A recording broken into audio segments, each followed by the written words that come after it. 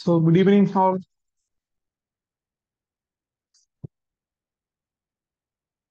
Good evening, all.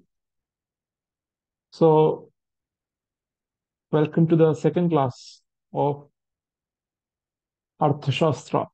Right. so, Kainya class, um, we have discussed the syllabus of K, and planning in K S examination so K S എക്സാമിന് economy and പ്ലാനിങ്ങിന്റെ relevance എന്താണ്? അതുപോലെ സിലബസിന്റെ ഒരു overview ഞാൻ provide ചെയ്തിരുന്നു. അതുപോലെ തന്നെ we are discussed the definition അല്ലെങ്കിൽ എക്കണോമിക്സിന്റെ ചില ബേസിക് ടേംസ് ഡിസ്കസ് ചെയ്തു. Like what you mean by resource അതുപോലെ എന്താണ് ഡെഫിനിഷൻ ഓഫ് എക്കണോമിക്സ് അതുപോലെ we are discussed what are the branches of economics then sectors of an economy എന്ന topics ആണ് discuss ചെയ്തത് and today we will be continuing the to economics portion. So അതിൽ കഴിഞ്ഞ ക്ലാസ്സിൽ we are discussed we have entered by discussing the sectors of of economy. നമ്മുടെ ഒരു സമ്പദ്ഘടനയുടെ sectors മേഖലകൾ ഏതൊക്കെയാണെന്ന് പറഞ്ഞാണ് നമ്മൾ എൻട്രി ചെയ്തത് ആൻഡ് അതിൽ നമ്മൾ പറഞ്ഞു പ്രൈമറി സെക്കൻഡറി ടെറിഷറി അത് major three sectors in an economy ഇത് പ്രൈമറി എന്ന് പറയുമ്പോൾ in the sector we can see it includes those activities in which we are directly harnessing resource from nature. പ്രകൃതിയിൽ നിന്ന് നേരിട്ട് നമ്മൾ റിസോഴ്സ് എടുക്കുകയാണെങ്കിൽ അല്ലെങ്കിൽ those activities which is directly related to nature പ്രകൃതിയുമായി നേരിട്ട് ബന്ധപ്പെട്ടിരിക്കുന്ന പ്രവർത്തനമാണെങ്കിൽ എന്താണ്? അതാണ് ഈ പറഞ്ഞ പ്രൈമറി സെക്ടർ ആക്ടിവിറ്റി ഓർ പ്രാഥമിക മേഖല പ്രവർത്തനം. സെക്കൻഡറി സെക്ടർ എന്ന് പറയുമ്പോൾ എന്താണ്? In this sector, we can see there is conversion of raw materials in primary sector. പ്രാഥമിക മേഖലയിലുള്ള റോ മെറ്റീരിയൽസിന് എന്ത് ചെയ്യുന്നു? ഒരു പുതിയ മൂല്യവർദ്ധിത ഉൽപ്പന്നമായിട്ട് ഒരു വാല്യൂ ആഡ് ഐറ്റം ആയിട്ട് കൺവേർട്ട് ചെയ്യപ്പെടുന്നു. സോ നമ്മൾ പറഞ്ഞിരുന്നു ദ ഡ്രിങ്കിങ് വാട്ടർ സപ്ലൈ നമ്മൾ കാണുന്ന വാട്ടർ സപ്ലൈ എന്ന് പറഞ്ഞു കഴിഞ്ഞാൽ that is a part of secondary ആണ്. നേരെ മറിച്ച് ഇറിഗേഷൻ എന്ന് പറഞ്ഞു കഴിഞ്ഞാൽ you can see it is a part of primary ആണെന്ന് ഞാൻ പറഞ്ഞു അല്ലെ? അതുപോലെ തന്നെ there is third sector which is tertiary or തൃതീയ മേഖല എന്ന് പറയും. സോ തൃതീയ മേഖല എന്ന് പറയുമ്പോൾ ഇവിടെ വരുന്നത് എന്താണ്? സേവനങ്ങളാണ്. സർവീസ് ആണ് ഇവിടെ വരുന്നത്. It includes transportation telecommunication hotel business banking trade ഇവയെല്ലാം എന്താണ്? ടെറിഷറി മേഖലയിൽ ഓ തൃതീയ മേഖലയിൽ വരുന്ന ആണെന്ന് അറിഞ്ഞിരിക്കുക. ആൻഡ് അതുപോലെ തന്നെ യു ഡിസ്കസ്ഡ് ഈ പറഞ്ഞ ടെറിഷറി സെക്ടറിനെ വീണ്ടും എന്ത് ചെയ്യാറുണ്ട്? സബ് കാറ്റഗറൈസ് ചെയ്യാറുണ്ട്. എങ്ങനെയൊക്കെയാണ്? Into quaternary and quinary so quaternary quinary എന്ന് പറഞ്ഞ് നമ്മുടെ ടെറിഷറി മേഖലയെ വീണ്ടും കാറ്റഗറൈസ് ചെയ്യാറുണ്ട്. പ്രത്യേകത എന്താണ്? വെൻ ഈ പറഞ്ഞ എക്കണോമി മെഷർ ചെയ്യുമ്പം പൊതുവെ മൂന്ന് മേഖലയേ ഉള്ളൂ. പ്രൈമറി സെക്കൻഡറി ടെറിഷറി ഉള്ളൂ. എന്നാൽ നമ്മൾ വേൾഡ് ബാങ്കിന്റെയും അല്ലെങ്കിൽ ഫോറിൻ ഇൻസ്റ്റിറ്റ്യൂഷന്റെ ഒക്കെ റിപ്പോർട്ട് നോക്കുമ്പോൾ ആ റിപ്പോർട്ടുകളിൽ എന്ത് ചെയ്തിട്ടുണ്ട്? ടെറിഷറി മേഖലയെ വീണ്ടും സബ് കാറ്റഗറൈസ് ചെയ്തിട്ടുണ്ട് ഇന്റു ക്യൂനറി ക്വാട്ടനറി എന്ന് പറഞ്ഞാൽ സോ ക്വാട്ടനറി എന്ന് പറയുമ്പോൾ പ്രധാനമായും നോളജ് റിലേറ്റഡ് സെക്ടർ ആണ്. സോ എഡ്യൂക്കേഷൻ അതുപോലെ തന്നെ ഗവൺമെന്റിന്റെ ഡിപ്പാർട്ട്മെന്റുകൾ അതുപോലെ ഐ ടി ഇവയൊക്കെയാണ് കൂടുതൽ ഇവിടെ വരുന്നത് ക്വാർട്ടണറി വരുന്നത്. ക്യൂനറി എന്ന് പറയുമ്പോൾ എന്താ? It represent the high class jobs ആണ്. അല്ലെങ്കിൽ highest decision makers in an എക്കണോമിയാണ് ഒരു എക്കണോമിയിലെ ഏറ്റവും വലിയ തീരുമാനം എടുക്കുന്ന ആളുകൾ അവരാണ് ഇവിടെ വരുന്നത്. ക്യൂണറി മേഖലയിൽ വരുന്നത്. ആൻഡ് യു ക്യാൻ സി അവിടെ വരുന്ന ഏതൊക്കെയാന്ന് ഞാൻ പറഞ്ഞിരുന്നു. എക്സാമ്പിൾസ് ഞാൻ കോട്ട് ചെയ്തിരുന്നു. Okay so and you can see ഈ പറഞ്ഞ മേഖലകൾ നമ്മൾ പറഞ്ഞ പ്രാഥമിക തൃതീയ ദ്വിതീയ മേഖലകൾ. ഈ മേഖലകളാണ് ഒരു കൺട്രിയുടെ ദേശീയ വരുമാനത്തിൽ കോൺട്രിബ്യൂട്ട് ചെയ്യുന്നത്. സോ നമ്മളെല്ലാവരും കേൾക്കുന്നതാണ് വാർത്ത കാണുന്നതാണ്. കോവിഡ് വന്ന സമയത്ത് നമ്മൾ വാർത്ത കണ്ടിരുന്നു. ഇന്ത്യ സാമ്പത്തിക മാന്ദ്യം നേരിട്ടു. അതുപോലെ തന്നെ നമ്മൾ കണ്ടുവരുന്നു. കോവിഡ് ടൈമിൽ പ്രാഥമിക മേഖലയായാലും ദ്വിതീയ മേഖലയായാലും തൃതീയ മേഖലയായാലും ഒരു രീതിയിൽ എന്താ ബാധിക്കപ്പെട്ടു എന്ന രീതിയിൽ നമ്മൾ വാർത്ത കണ്ടു. സോ നമ്മൾ പറഞ്ഞിരുന്നു ഒരു കൺട്രിയിലുള്ള ഒരു സമ്പദ്ഘടനയുള്ള സാമ്പത്തിക പ്രവർത്തനങ്ങൾ ഏത് മേഖലയുമായി ബന്ധപ്പെട്ടിരിക്കുകയാണ്? പ്രാഥമിക ദ്വിതീയ തൃതീയ ഈ മേഖലകളിൽ ബന്ധപ്പെട്ടിരിക്കുകയാണ്. സോ നമ്മുടെ എക്കണോമിയിൽ എന്തെങ്കിലും മാറ്റം ഉണ്ടാവുന്നതനുസരിച്ച് ഈ പറഞ്ഞ മേഖലയിലുള്ള സാമ്പത്തിക പ്രവർത്തനം എന്ത് ചെയ്യും? മാറാം.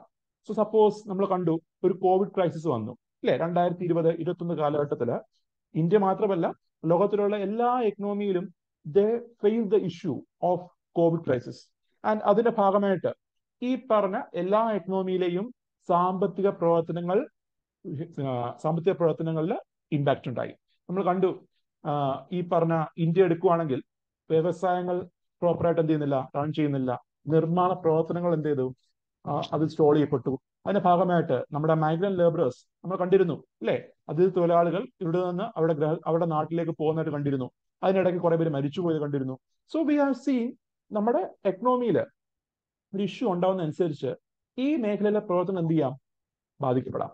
ആൻഡ് നിലവിൽ നമ്മുടെ ഇന്ത്യ എന്ന എക്കണോമി എടുക്കുകയാണെങ്കിൽ നിങ്ങൾക്ക് പറയാമോ ഏത് മേഖലയാണ് നമ്മുടെ ഇന്ത്യയിൽ ഇന്ത്യയുടെ ദേശീയ വരുമാനത്തിൽ കോൺട്രിബ്യൂട്ട് ചെയ്യുന്നത് പറയാമോ? ഏറ്റവും കൂടുതൽ കോൺട്രിബ്യൂട്ട് ചെയ്യുന്നത് പറയാമോ? Which is a sector which contributes the highest highest in our national income നമ്മുടെ ദേശീയ വരുമാനത്തിൽ ഏറ്റവും കൂടുതൽ കോൺട്രിബ്യൂട്ട് ചെയ്യുന്ന മേഖല ഏതെന്ന് പറയാമോ?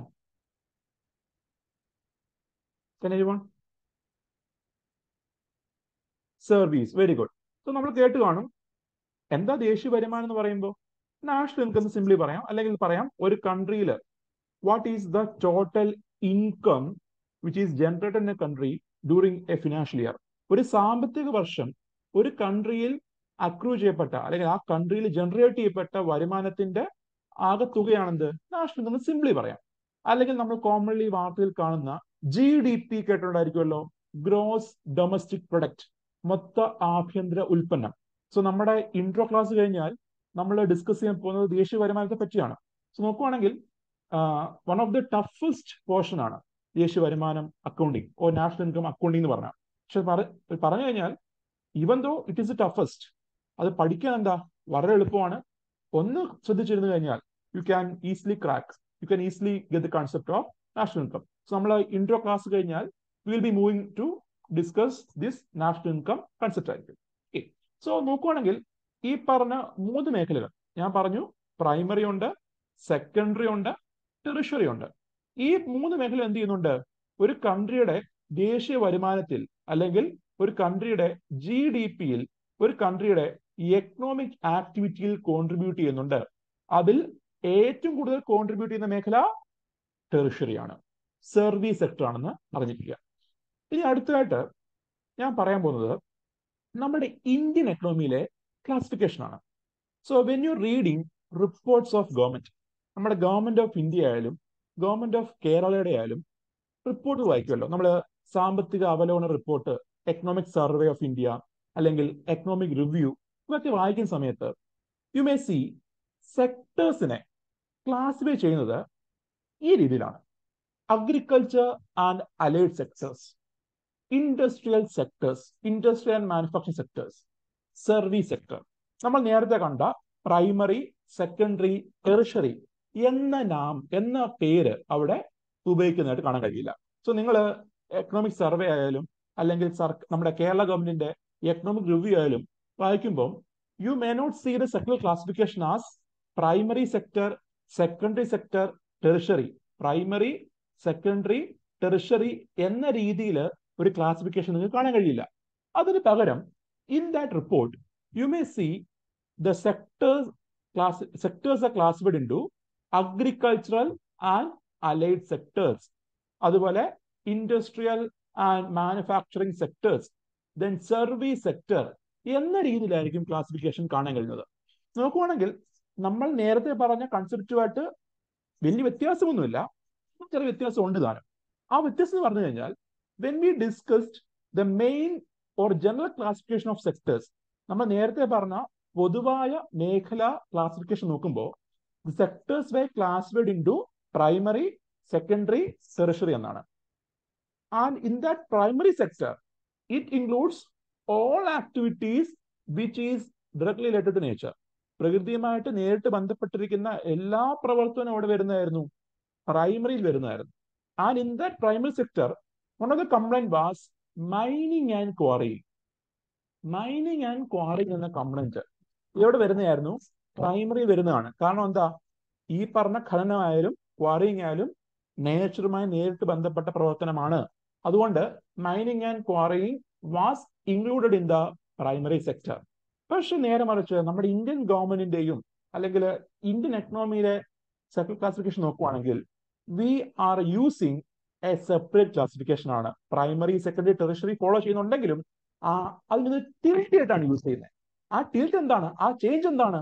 നോക്കുവാണെങ്കിൽ ഇൻ അഗ്രികൾച്ചറൽ സെക്ടേഴ്സ് നമ്മൾ നേരത്തെ കണ്ട എല്ലാ സാധനം വരും. കാർഷിക മേഖല അതുപോലെ ഈ പറഞ്ഞ forestry fisheries poultry livestock ഇവയെല്ലാം ഉൾപ്പെടുന്നുണ്ട്. എന്നാൽ ക്വാറിങ് മൈനിങ് അത് എന്ത് ചെയ്യുന്നില്ല അഗ്രികൾച്ചർ ആൻഡ് അലൈഡ് സെക്ടറിൽ വരുന്നില്ല. അത് വരുന്ന എവിടാണ്? ഇൻ ദ ഇൻഡസ്ട്രി സെക്ടറാണ് അതൊരു കാരണം ഗവൺമെന്റ് പറയുന്നത് മൈനിങ് ആൻഡ് ക്വാറിങ് പ്രവർത്തനങ്ങളെല്ലാം പ്രധാനമായിട്ടും വ്യവസായ ബന്ധപ്പെട്ടിരിക്കുകയാണ്. ഇപ്പൊ നമ്മൾ കൽക്കരി കനി ആയാലും അല്ലെങ്കിൽ ഏതെങ്കിലും മിനറൽസിന്റെ മൈൻ ആയാലും all these mining activities are related to industries ആണ്.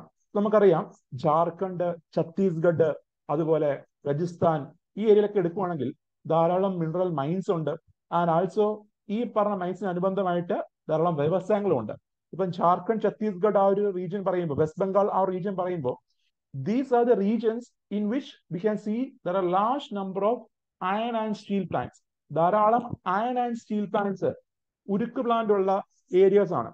ആൻഡ് ഈ പറഞ്ഞ പ്ലാന്റുകളെല്ലാം മെജോറിറ്റി പ്ലാന്റുകളും സ്ഥിതി ചെയ്യുന്നതിന് അടുത്താണ് മൈൻസിനടുത്താണ് so since mining quarrying activity നിർമ്മാണ മേഖലയായിട്ട് വ്യവസായ മേഖലയുമായിട്ട് അഭേദ്യമായ ഒരു ബന്ധമുണ്ട് എന്ന് മനസ്സിലാക്കിയിട്ടാണ് എന്ത്? മൈനിങ് ക്വാറിങ് ഇൻഡസ്റ്റിനകത്ത് ഉൾപ്പെടുന്നത്. സോ ക്ലാസിഫിക്കേഷൻ നോക്കുമ്പോൾ നിങ്ങൾ കൺഫ്യൂഷൻ ആവരുത്. മൈനിങ് ക്വാറിങ് പ്രൈമറി ആക്ടിവിറ്റി തന്നെയാണ്. മൈനിങ് കാറിങ് പ്രൈമറി ആക്ടിവിറ്റി തന്നെയാണ്. പക്ഷെ എന്താ ഇന്ത്യയിലെ ക്ലാസിഫിക്കേഷൻ വരുമ്പോൾ we are considering this mining and quarrying are an industrial sector activity primary activity ആണ്. അതിൽ മാറ്റമില്ല. അത് പൊതുവായിട്ടുള്ള ക്ലാസിഫിക്കേഷനിൽ പ്രൈമറി തന്നെയാണ്. പ്രൈമറി പ്രവർത്തനമാണ്. പക്ഷെ സെക്ടർ ക്ലാസിഫിക്കേഷൻ ദേശീയ വരുമാനം എസ്റ്റിമേറ്റ് ചെയ്യാനും അതുപോലെ മറ്റുള്ള policy ഫോർമുലേഷനും we are following this classification എന്ന് മാത്രം അറിഞ്ഞിരിക്കുക. ദെൻ സർവീസ് സെക്ടറിൽ മാറ്റമൊന്നുമില്ല. ടെറിഷറി മേഖല വരുന്ന എല്ലാ പ്രവർത്തനമാണ് സർവീസിൽ വരുന്നത്.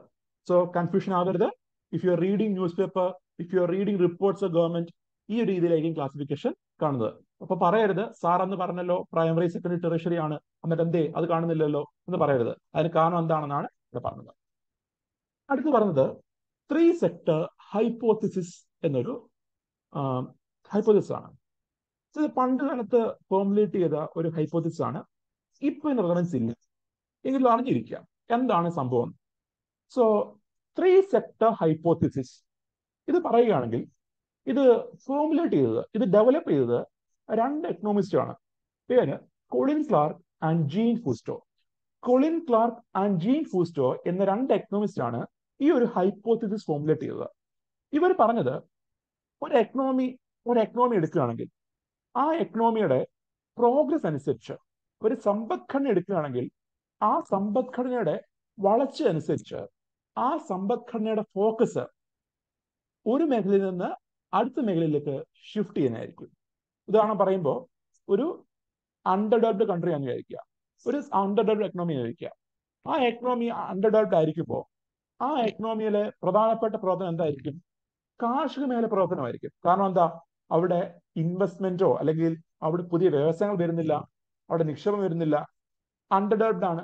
സോ അവിടെ ഉള്ള പ്രവർത്തനങ്ങൾ പ്രധാനമായും എന്തായിരിക്കും? പ്രൈമറി മേഖലാ പ്രവർത്തനമായിരിക്കും. എന്നാൽ കൺട്രി വികസന വികസിക്കുന്ന അനുസരിച്ച് കൺട്രി പ്രോഗ്രസിനനുസരിച്ച് ഈ ഫോക്കസ് പ്രൈമറി നിന്ന് സെക്കൻഡറിലേക്ക് ഷിഫ്റ്റ് ചെയ്യുന്നു. സോ ഇനിഷ്യലി എന്തായിരിക്കും? Initially initially we can see the focus will be on primary sector activity നമ്മൾ കാണുന്ന പ്രൈമറി മേഖലാ പ്രവർത്തനത്തിലായിരിക്കും ആദ്യകാലത്ത് ഒരു കൺട്രിയുടെ മെയിൻ ഫോക്കസ് അതെങ്ങോട്ട് മാറുന്നു. അത് പിൽക്കാലത്ത് സെക്കൻഡറി സെക്ടറിലേക്ക് ആ ഫോക്കസ് ഷിഫ്റ്റ് ചെയ്യുന്നു. അതിനുശേഷം we can see the focus will be shifted to tertiary sector അങ്ങനെ ഒരു ഡെവലപ്ഡ് കൺട്രി ആകുമ്പോൾ ആ കൺട്രിയുടെ ഫോക്കസ് എങ്ങോട്ടായി? സേവന മേഖലയിലേക്ക് ടെറിഷറിയിലേക്ക് എന്ത് ചെയ്യുന്നു? ഷിഫ്റ്റ് ചെയ്യപ്പെടുന്നു. ഇതാണ് ഈ തിയറി പറയുന്നത്. അതുപോലെ തന്നെ ഇവർ പറഞ്ഞു ഈ പറഞ്ഞ പ്രോഗ്രസ് അനുസരിച്ച് ഒരു കൺട്രി പ്രൈമറി നിന്ന് സെക്കൻഡറി ആയി സെക്കൻഡറി നിന്ന് ടെറിഷറി ആയി. ഇങ്ങനെ പ്രോഗ്രസ് ചെയ്യുന്നതനുസരിച്ച് ആ കൺട്രിയിലെ ലിവിങ് സ്റ്റാൻഡേർഡ്സ് ഇംപ്രൂവ് ചെയ്യുന്നു. അതുപോലെ തന്നെ അവിടെയുള്ള എംപ്ലോയ്മെന്റ് വർദ്ധിക്കുന്നു. ഇതാണ് ഇവർ പറഞ്ഞത്. സോ ഇവരെന്താ പറഞ്ഞത് കൊളിൻ ക്ലാർക്കും ജീൻ പോസ്റ്റും പറഞ്ഞത് ഒരു കൺട്രി പ്രോഗ്രസ് ചെയ്യുന്നതനുസരിച്ച് ആ കൺട്രിയുടെ മെയിൻ ഫോക്കസ് ഏരിയ അല്ലെങ്കിൽ ആ കൺട്രിയിലെ മെയിൻ എക്കണോമിക് ആക്ടിവിറ്റി ആ കൺട്രിയിലെ പ്രധാനപ്പെട്ട സാമ്പത്തിക പ്രവർത്തനങ്ങൾ പ്രൈമറി ആദ്യം അത് കഴിഞ്ഞ് സെക്കൻഡറി ആയി പിന്നെ ടെറിഷറി ആയി. എന്നിങ്ങനെ എന്ത് ചെയ്യുന്നു? ഒരു കൺട്രിയുടെ പ്രോഗ്രസ് ഉണ്ടാവുന്നു എന്നാണ് ഇത്. ഇങ്ങനെ പ്രോഗ്രസ് ഉണ്ടാകുന്നതനുസരിച്ച് അവിടെ എംപ്ലോയ്മെന്റ് വർദ്ധിക്കുന്നു. അതുപോലെ തന്നെ അവിടെയുള്ള ആളുകളുടെ ലിവിങ് സ്റ്റാൻഡേർഡ്സ് ജീവിത നിലവാരം വർദ്ധിക്കുന്നു എന്നും കൂടെ അദ്ദേഹം പറയുന്നുണ്ട്. നോക്കുവാണെങ്കിൽ ഈ ഒരു തിയറി എടുക്കുമ്പോൾ നിങ്ങൾ ഇന്ത്യയിലേക്ക് ഈ ഒരു തിയറി അപ്ലൈ ചെയ്യുമ്പോൾ we can see India did not actually fully follow this theory ഈ ഒരു ഹൈപ്പോത്തിസിസ് പൂർണമായിട്ടും ഫോളോ ചെയ്യാൻ ഇന്ത്യക്കായിട്ടില്ല. അതൊരു ചലഞ്ചാണ് കാരണം നോക്കുവാണെങ്കിൽ ഇന്ത്യയുടെ എക്കണോമിക് ആക്ടിവിറ്റി കോൺട്രിബ്യൂഷൻ നോക്കുമ്പോൾ ആദ്യകാലത്ത് നമ്മൾ ഇൻഡിപെൻഡൻസ് തൊട്ട് എടുത്ത് നോക്കാം.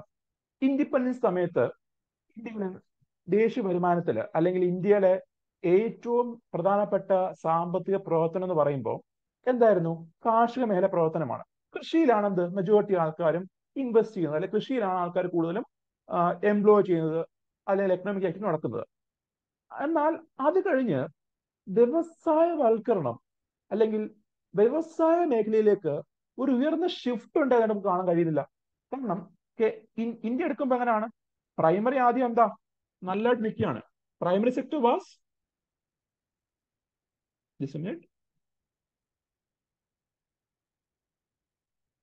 ആ ഇന്ത്യ എടുക്കുവാണെങ്കിൽ ആദ്യകാലത്ത് എന്താണ്? Primary sector was the main focus area ഏറ്റവും മെയിൻ ഫോക്കസ് എവിടാണ്? പ്രൈമറി സെക്ടറിനാണ് ആൻഡ് യു ക്യാൻ സി ഈ പറഞ്ഞ കാർഷിക മേഖല more than almost sixty percentage എന്ത് ചെയ്തു? ദേശീയ വരുമാനത്തിൽ കോൺട്രിബ്യൂട്ട് ചെയ്യുന്നുണ്ട്. സോ ഇന്ത്യയുടെ ദേശീയ വരുമാനത്തിൽ ഓൾമോസ്റ്റ് സിക്സ്റ്റി പെർസെന്റേജോളം കോൺട്രിബ്യൂട്ട് ചെയ്തത് കാർഷിക മേഖലയും അനുബന്ധ മേഖലയായിരുന്നു.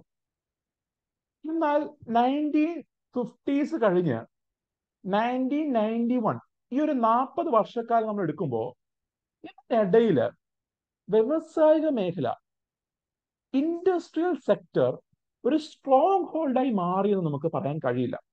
സോ കമ്പയർ ടു മറ്റ് എക്കണോമീസ് നിങ്ങളിപ്പോൾ ബ്രിട്ടൻ എടുക്കുക യു കെ എടുക്കുക യുണൈറ്റഡ് കിങ്ഡം എടുക്കുക.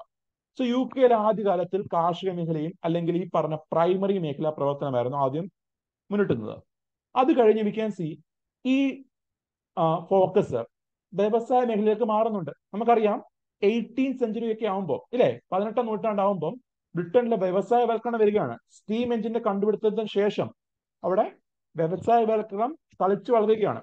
അതിന് ഭാഗമായിട്ട് ധാരാളം ടെക്സ്റ്റൈൽ ഇൻഡസ്ട്രീസ് ഇല്ലേ? ടെക്സ്റ്റൈൽ വ്യവസായങ്ങൾ ബ്രിട്ടനിൽ രൂപപ്പെടുന്നുണ്ട്. അങ്ങനെ ബ്രിട്ടൻ എന്ത് ചെയ്തു?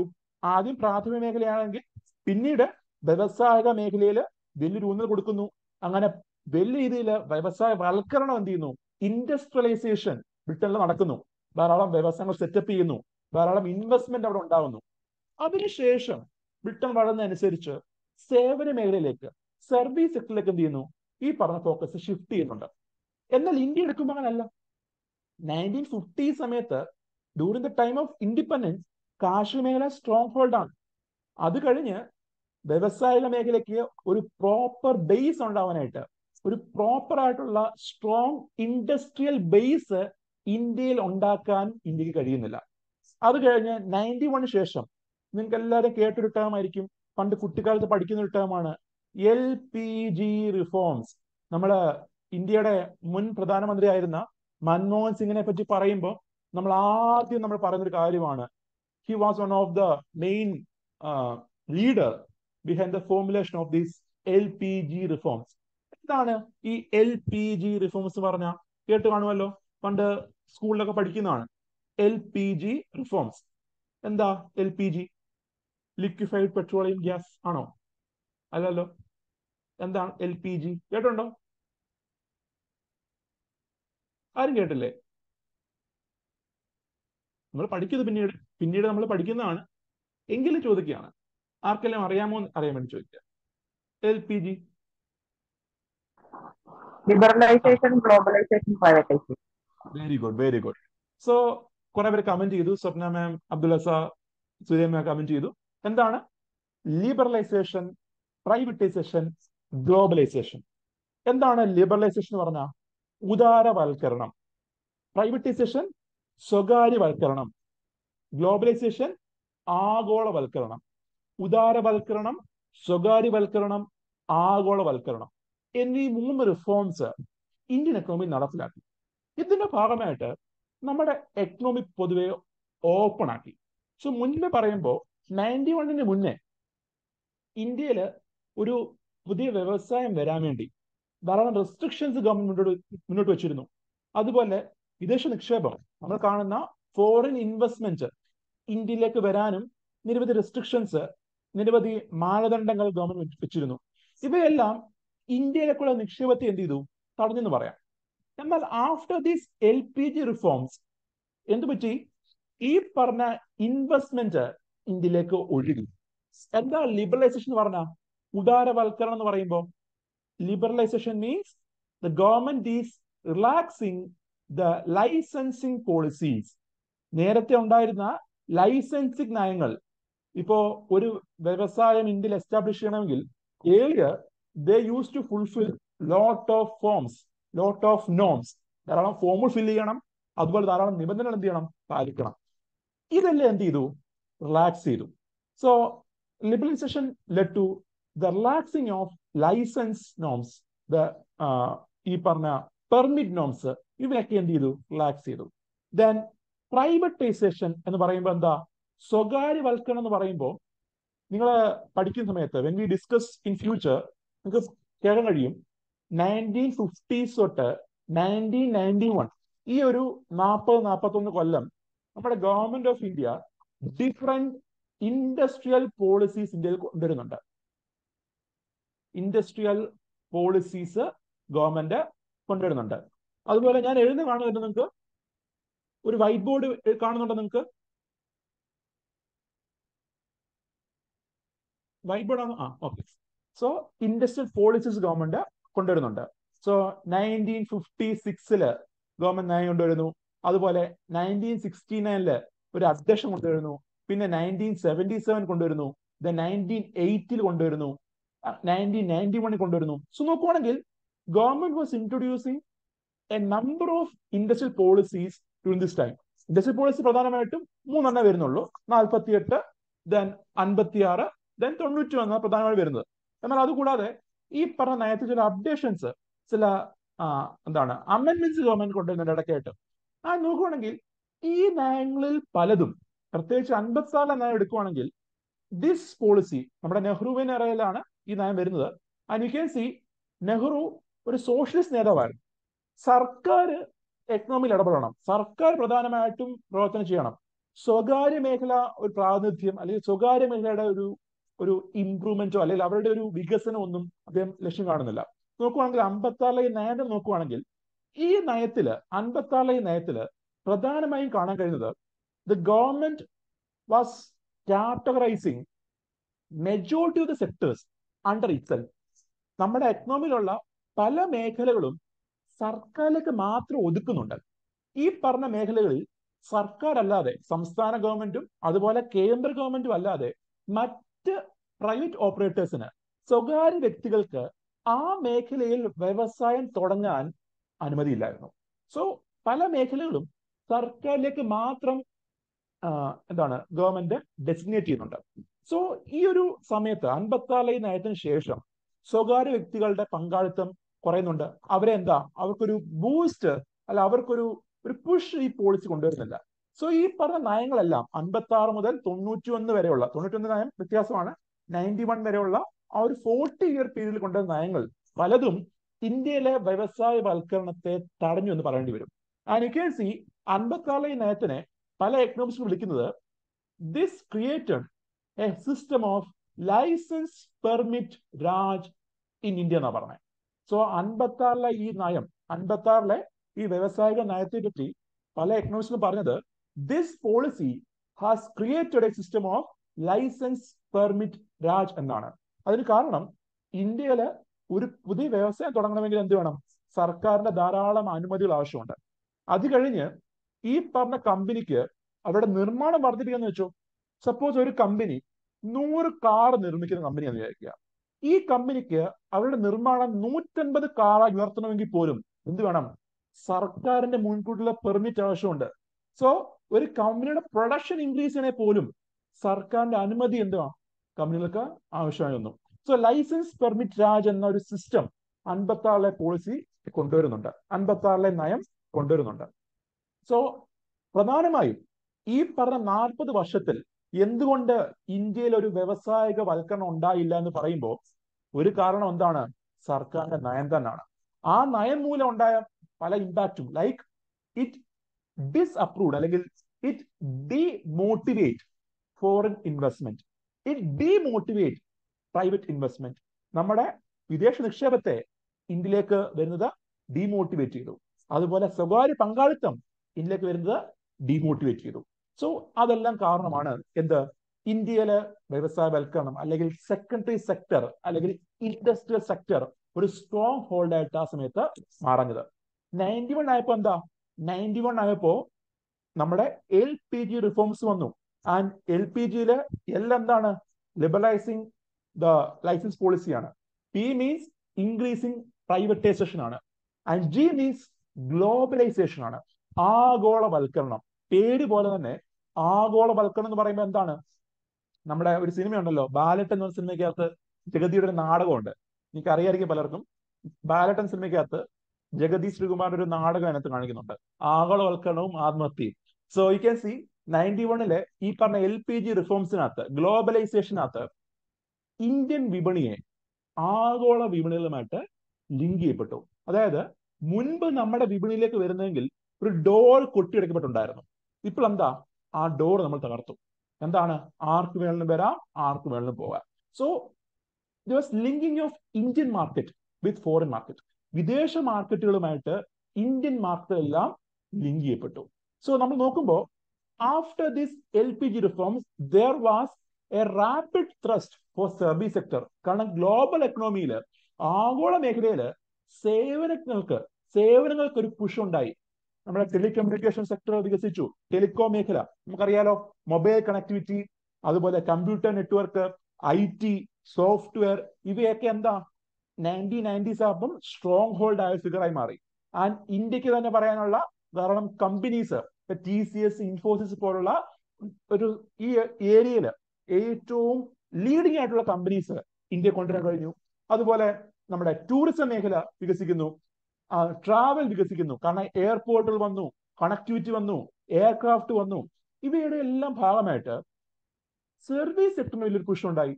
സോ ആ പുഷ് ഉണ്ടായപ്പം ആ ഗെയിൻ ഹാർനസ് ചെയ്യാൻ വേണ്ടിയിട്ട് സർവീസ് സെക്ടറിന് ഡിമാൻഡ് വന്നപ്പോ ആ ഡിമാൻഡ് ഹാർനസ് ചെയ്യാനായിട്ട് എന്ത് ചെയ്തു? ഇന്ത്യയിൽ പുഷ് ഉണ്ടായി അങ്ങനെ ഇന്ത്യയിൽ സർവീസ് സെക്ടർ വലിയൊരു സ്ട്രോങ് ഫോഴ്സ് ആയിട്ട് നയന്റി വണ്ണിന് ശേഷം ഉദിക്കുകയാണ് and you can see ninety വണ്ണിന് ശേഷം ഇതുവരെ രണ്ടായിരത്തി ഇരുപത്തി മൂന്ന് വരെയുള്ള കാലം എടുക്കുമ്പോൾ you can see during this entire time service sector was the highest contributor in the economy and ninety one മുതൽ ട്വന്റി ത്രീ വരെയുള്ള ഈ കാലഘട്ടത്തിൽ എടുക്കുമ്പോൾ നമ്മുടെ മാനുഫാക്ചറിംഗ് മേഖല അല്ലെങ്കിൽ ഇൻഡസ്ട്രിയൽ മേഖല എടുക്കുമ്പോൾ ഇറ്റ് ഈസ് സ്റ്റാഗ്നന്റ് എന്ന് കാണാൻ കഴിയും. നോട്ട് ചെയ്യേണ്ടതാണ് ഞാൻ ഈ പറയുന്ന പോയിന്റ്സ് ഒക്കെ എന്ത് ചെയ്യുക? നോട്ട് ചെയ്യുക. It is stagnant almost stagnant ആണ്. So the sectoral contribution of manufacturing sector or industry sector in Indian economy is almost stagnant in the last thirty years എന്ന് പറയാമോ എനിക്ക്? പറയാം. കാരണം ഇരുപത്തി അഞ്ച് മുതൽ അല്ലെങ്കിൽ ആ ഇരുപത്തിയഞ്ച് മുതൽ മുപ്പത് ശതമാനം ഈ ഒരു റേഞ്ചിലാണ് എന്ത്? മാനുഫാക്ചറിംഗ് മേഖലയുടെ കോൺട്രിബ്യൂഷൻ എക്കണോമിയിൽ നിൽക്കുന്നത്.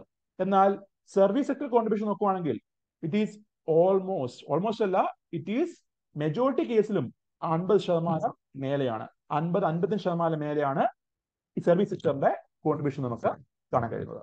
സോ നോക്കുമ്പോൾ ത്രീ സെക്ടർ ഹൈപ്പോത്തിസിസ് കൊളിൻ ക്ലാർക്കും ജീൻ ഫോസ്റ്റോയും പ്രപ്പോസ് ചെയ്ത three sector hypothesis we cannot interpolate in India Indian എക്കണോമിയിൽ നമുക്ക് എന്താ അത് പൂർണമായിട്ടും ഇന്റർപ്ലേറ്റ് ചെയ്യാനോ അല്ലെങ്കിൽ പൂർണമായിട്ടും അപ്ലൈ ചെയ്യാനോ കഴിയില്ല എന്ന് നമുക്ക് കാണാം. അതുപോലെ തന്നെ ഈ ഒരു തിയറി പറഞ്ഞ ഒരു പ്രധാനപ്പെട്ട സംഗതി ഉണ്ടായിരുന്നു. ഞാൻ നേരത്തെ പറഞ്ഞിരുന്നു as per Colin Clark and Jean Fourastie ഒരു എക്കണോമി വളർന്നതനുസരിച്ച് കോൺട്രിബ്യൂഷൻ മാറിക്കൊണ്ടിരിക്കും. അതുപോലെ തന്നെ ഈ പറഞ്ഞ എക്കണോമി വളർന്നതനുസരിച്ച് കോൺട്രിബ്യൂഷൻ മാറുന്നു. അതിനൊപ്പം തന്നെ ആളുകളുടെ ലിവിങ് സ്റ്റാൻഡേർഡ്സ് അതുപോലെ ആളുകളുടെ എംപ്ലോയ്മെന്റ് വർദ്ധിക്കും എന്നും കൂടെ അവർ പറയുന്നുണ്ട് ഈ തിയറിക്കകത്ത് ഈ ഹൈപ്പോത്തിസിനകത്ത് എന്നാൽ നോക്കുവാണെങ്കിൽ this concept or this what to this fact in that hypothesis was wrong നമ്മുടെ ഈ ഒരു കൺസെപ്റ്റ് എന്ത്? പ്രൈമറി നിന്ന് സെക്കൻഡറി അവിടെ നിന്ന് ടെറിഷറി ആവുന്നു. ആ സമയത്ത് ആളുകളുടെ എംപ്ലോയ്മെന്റ് എന്ത് ചെയ്യുന്നു? വർദ്ധിക്കുന്നു. അതുപോലെ ലിവിങ് സ്റ്റാൻഡേർഡ്സ് വർദ്ധിക്കുന്നു.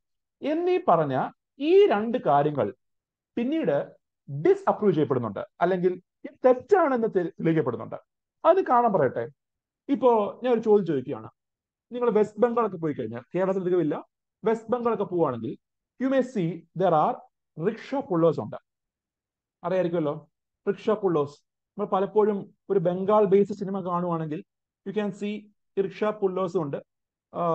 റിക്ഷ വെച്ച് സൈക്കിൾ ഓട്ടുന്നവരുണ്ട്. അതുപോലെ റിക്ഷ പുള്ളി ചെയ്യുന്ന ആൾക്കാരുണ്ട്. അല്ലേ? കണ്ടു കാണുമല്ലോ നിങ്ങൾ നമ്മുടെ മലയാളത്തിൽ തന്നെ സിനിമയുണ്ട് കൽക്കട്ട ന്യൂസ് എന്ന് പറഞ്ഞ സിനിമ ആ സിനിമയ്ക്കകത്ത് ധാരാളം സീനിൽ you may see this rickshaw pullers റിക്ഷവാല ആളുകൾ.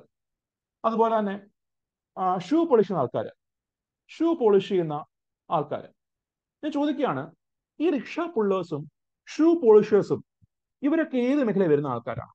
പ്രൈമറി ആണോ സെക്കൻഡറി ആണോ ടെറിഷറി ആണോ? റിക്ഷ പുള്ളേഴ്സ് അതുപോലെ ഷൂ പോളിഷേഴ്സ് ഇവരൊക്കെ ഏത് മേഖല വരുന്നതാണ്? പ്രൈമറി സെക്കൻഡറി ഓർ ടെറിഷറി ഏതാ?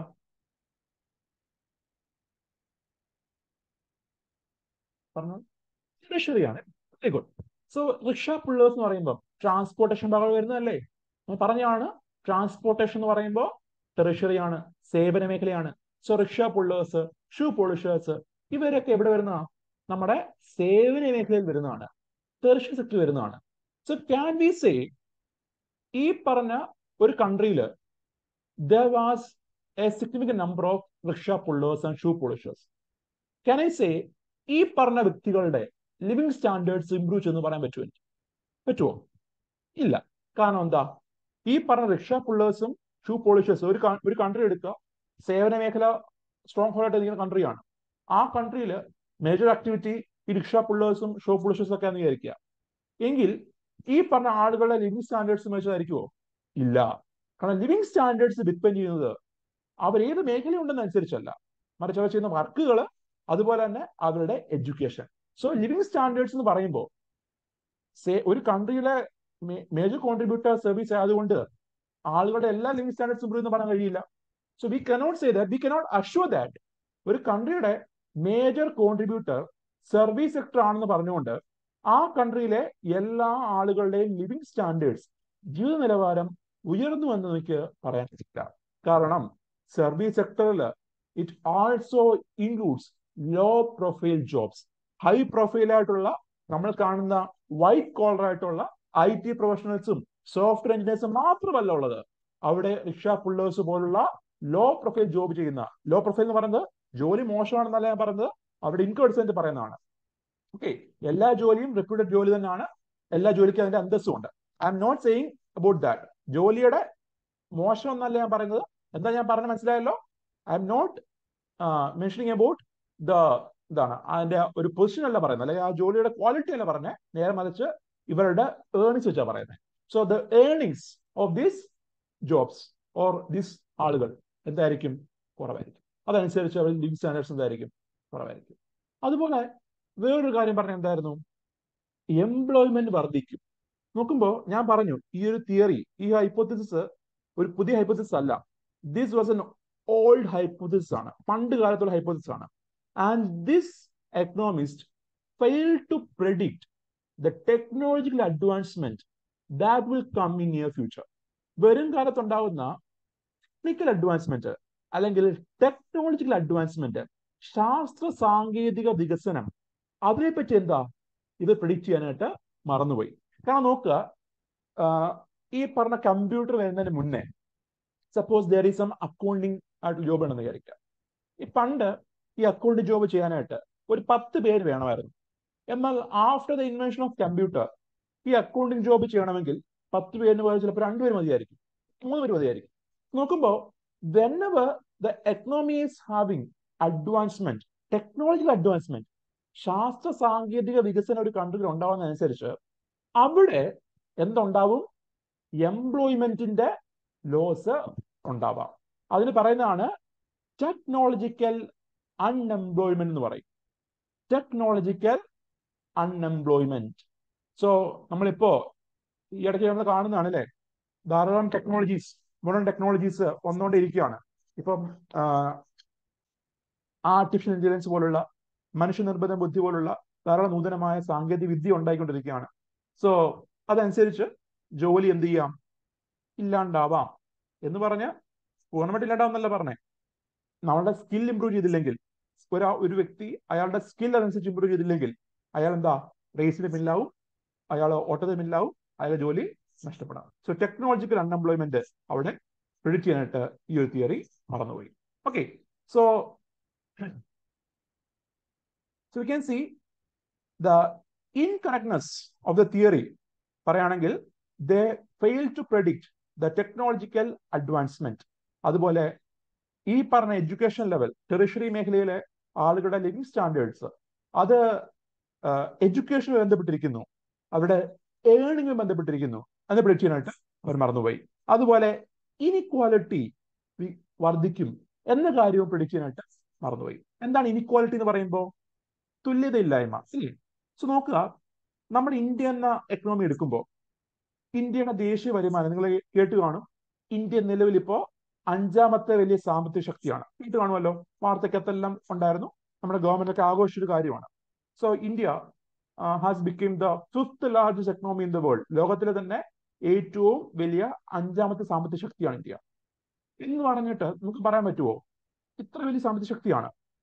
ഇന്ത്യയിലെ എല്ലാവരുടെയും വരുമാനം തുല്യമാണെന്ന് പറയാൻ പറ്റുമോ കാരണം even though we are the fifth largest economy in the world നമ്മുടെ ഇന്ത്യയുടെ ആളുകളുടെ ഇൻകം നോക്കുവാണെങ്കിൽ വൺ പെർസെന്റേജ് ഓഫ് റിച്ച് നമ്മുടെ ഇന്ത്യയിലെ ഒരു ശതമാനം rich population is holding about fifty percentage of more than fifty percentage of India's wealth ആണ്.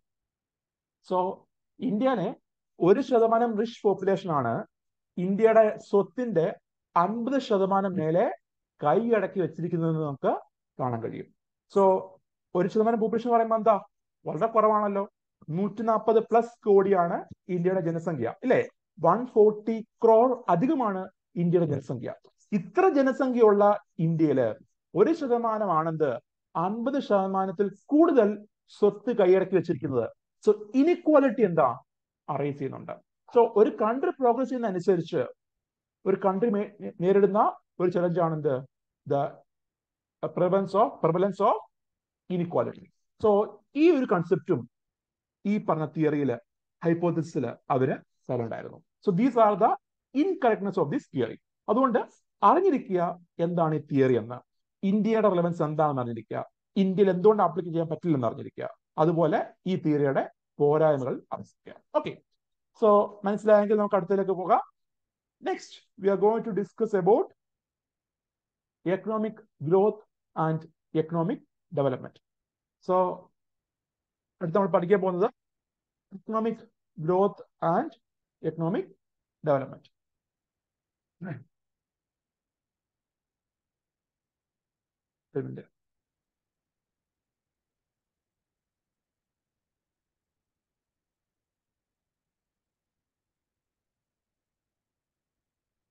okay so സാമ്പത്തിക വളർച്ചയും സാമ്പത്തിക പുരോഗതിയും.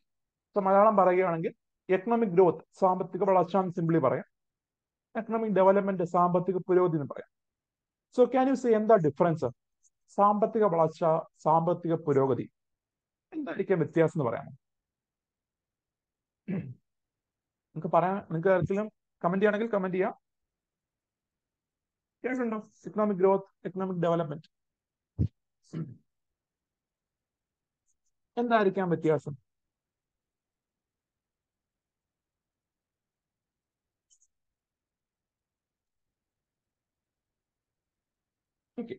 സോ ആരും പറയുന്നില്ല. അതുകൊണ്ട് ആ growth oh very good so സൂര്യമൻ പറഞ്ഞ പോലെ ഗ്രോത്ത് എന്ന് പറഞ്ഞാൽ വരുമാന വർധനവ് മാത്രമാണ് അല്ലെ? സോ നോക്കുവാണെങ്കിൽ ഈ എക്കണോമിക് ഗ്രോത്ത് എക്കണോമിക് ഡെവലപ്മെന്റ് ഇവ രണ്ടും ഒരു പരിധി വരെ സമമാണ്. പരിധി വരെ എന്നേ പറഞ്ഞുള്ളൂ സമമാണെന്ന് പറയുന്നില്ല.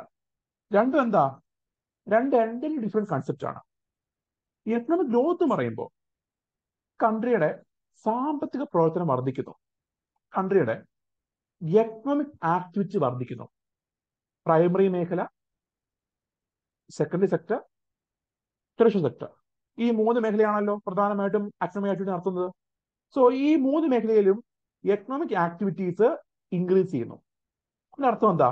Whenever there is increase in the economic activities of the sectors which means that there is increase in the production of goods and service ആണ്. കാർഷിക മേഖല പ്രവർത്തനം വർദ്ധിക്കുന്നു എന്ന് പറയുമ്പോൾ എന്താണ്? കാർഷിക മേഖലയിലെ നിർമ്മാണം വർദ്ധിക്കുന്നു. അവിടെ ഉൽപ്പാദിപ്പിക്കുന്ന ഉൽപ്പന്നം വർദ്ധിക്കുന്നു. അതുപോലെ സെക്കൻഡറി മേഖലയിലും ട്രഷറി മേഖലയിലും സാമ്പത്തിക പ്രവർത്തനം വർദ്ധിക്കുന്നു പറയുമ്പോൾ there is an increase in the production of goods and services എന്ന് പറയാം. സേവനം വർദ്ധിക്കുന്നു ഗുഡ്സ് വർദ്ധിക്കുന്നു. സോ വെൻ ഒരു കൺട്രിയുടെ എക്കണോമിക് ആക്ടിവിറ്റി വർദ്ധിക്കുന്നു അല്ലെങ്കിൽ ഒരു കൺട്രിയിലെ ഗുഡ്സിന്റെയും സേവനങ്ങളുടെയും നിർമ്മാണം വർദ്ധിക്കുന്നു. എങ്കിൽ നമുക്ക് പറയാം ആ കൺട്രിയിൽ എന്താണ്? സാമ്പത്തിക വളർച്ച ഉണ്ട്. അല്ലെങ്കിൽ ആ കൺട്രിയിലെ സാമ്പത്തിക വളർച്ച എക്സ്പീരിയൻസ് പെടുന്നു so whenever there is increase in the production of goods and service in the economy there is increase in the economic growth so economic growth പറഞ്ഞു കഴിഞ്ഞാൽ it is a quantitative concept ആണ്. Economic growth എന്താണ്? ഒരു quantitative concept ആണ് quantitative എന്ന് പറഞ്ഞുകൊണ്ട് തന്നെ we can measure this growth ഒരു കൺട്രിയുടെ എക്കണോമിക് ഗ്രോത്ത് ക്വാണ്ടിറ്റേറ്റീവ് എന്ന് പറഞ്ഞു കഴിഞ്ഞാൽ എന്താണ് അർത്ഥം? ആ ഗ്രോത്ത് എത്രയാണോ എന്ന് നമുക്ക് എന്ത് ചെയ്യാം? അളക്കാൻ കഴിയും. So we can measure the quantity of growth we can measure how much growth has acquired by the country എത്രമാത്രം ഗ്രോത്ത് എത്രമാത്രം വളർച്ച ആ കൺട്രി കൈവരിച്ചു എന്ന് എന്ത് ചെയ്യാം? നമുക്ക് അറിയാനായിട്ട് കഴിയും. Whenever we are using the term economic growth so നിങ്ങൾ കേട്ട് കാണും ഇന്ത്യയുടെ സാമ്പത്തിക വളർച്ച പ്രിഡിക്റ്റ് ചെയ്യുന്നു. റിസർവ് ബാങ്ക് ഓഫ് ഇന്ത്യയുടെയും അല്ലെങ്കിൽ വേൾഡ് ബാങ്കിന്റെയും ലോക ബാങ്കിന്റെയും പ്രിഡിക്ഷൻ പ്രകാരം അടുത്ത വർഷം ഇന്ത്യ ഇത്ര തോത് വളരും. അല്ലെങ്കിൽ അടുത്ത വർഷം ഇന്ത്യയുടെ സാമ്പത്തിക സ്ഥിതി മെച്ചപ്പെടും. എന്നൊക്കെ പറഞ്ഞ കേട്ടില്ലേ വാർത്ത? സോ അവിടെ എന്താ ഈ മെഷർ ചെയ്യുന്നത് അവിടെ മെഷർ ചെയ്യുന്നത് എന്താ? ആ കൺട്രിയിലെ നിർമ്മാണ പ്രവർത്തനങ്ങൾ വർദ്ധിക്കുന്നു. അല്ലെങ്കിൽ ആ കൺട്രിയിലെ ഉൽപ്പന്നങ്ങളുടെയും സേവനങ്ങളുടെയും നിർമ്മാണം വർദ്ധിക്കുന്നു എന്നാണ് അവിടെ അർത്ഥമാക്കുന്നത്. സോ നമ്മൾ കാണുന്ന G D P gross domestic product മൊത്ത ആഭ്യന്തര ഉൽപ്പന്നം എന്ന് പറയും. സോ എന്താ ജി ഡി പി എന്ന് പറഞ്ഞാൽ തൽക്കാലം പറയാണ്. പിന്നീട് പഠിക്കുന്നതാണ് നമ്മൾ ജി ഡി പി എന്താണെന്ന്. ജി ഡി പി എന്ന് പറഞ്ഞു കഴിഞ്ഞാൽ ഒരു കൺട്രിയിൽ ഒരു സാമ്പത്തിക വർഷം ഏപ്രിൽ ഒന്നിന് തുടങ്ങി മാർച്ച് മുപ്പത്തൊന്നിന് അവസാനിക്കുന്ന ഒരു സാമ്പത്തിക വർഷം ഒരു കൺട്രിയിൽ നിർമ്മിക്കപ്പെടുന്ന ഫൈനൽ ഗുഡ്സിന്റെയും സേവനങ്ങളുടെയും തുകയാണ്. സോ ഒരു കൺട്രിയിൽ ഏപ്രിൽ ഒന്ന് മുതൽ മാർച്ച് മുപ്പത്തൊന്ന് വരെയുള്ള പന്ത്രണ്ട് മാസ കാലയളവിൽ നിർമ്മിക്കപ്പെടുന്ന ഉൽപ്പന്നങ്ങളുടെയും സേവനങ്ങളുടെയും വാല്യൂ മണി വാല്യൂ ഒരു തുകയാണെന്ത് ഈ പറഞ്ഞ ജി ഡി പി എന്ന് പറഞ്ഞ. So G D P is a measurement of economic growth എന്ന് കാണാം. അതുപോലെ ദേശീയ വരുമാനം നമ്മൾ കാണുന്ന national income is a measure of economic growth എന്ന് ഓക്കെ അടുത്ത ഒരു ടേമാണ് എക്കണോമിക് ഡെവലപ്മെന്റ് സാമ്പത്തിക പുരോഗതി.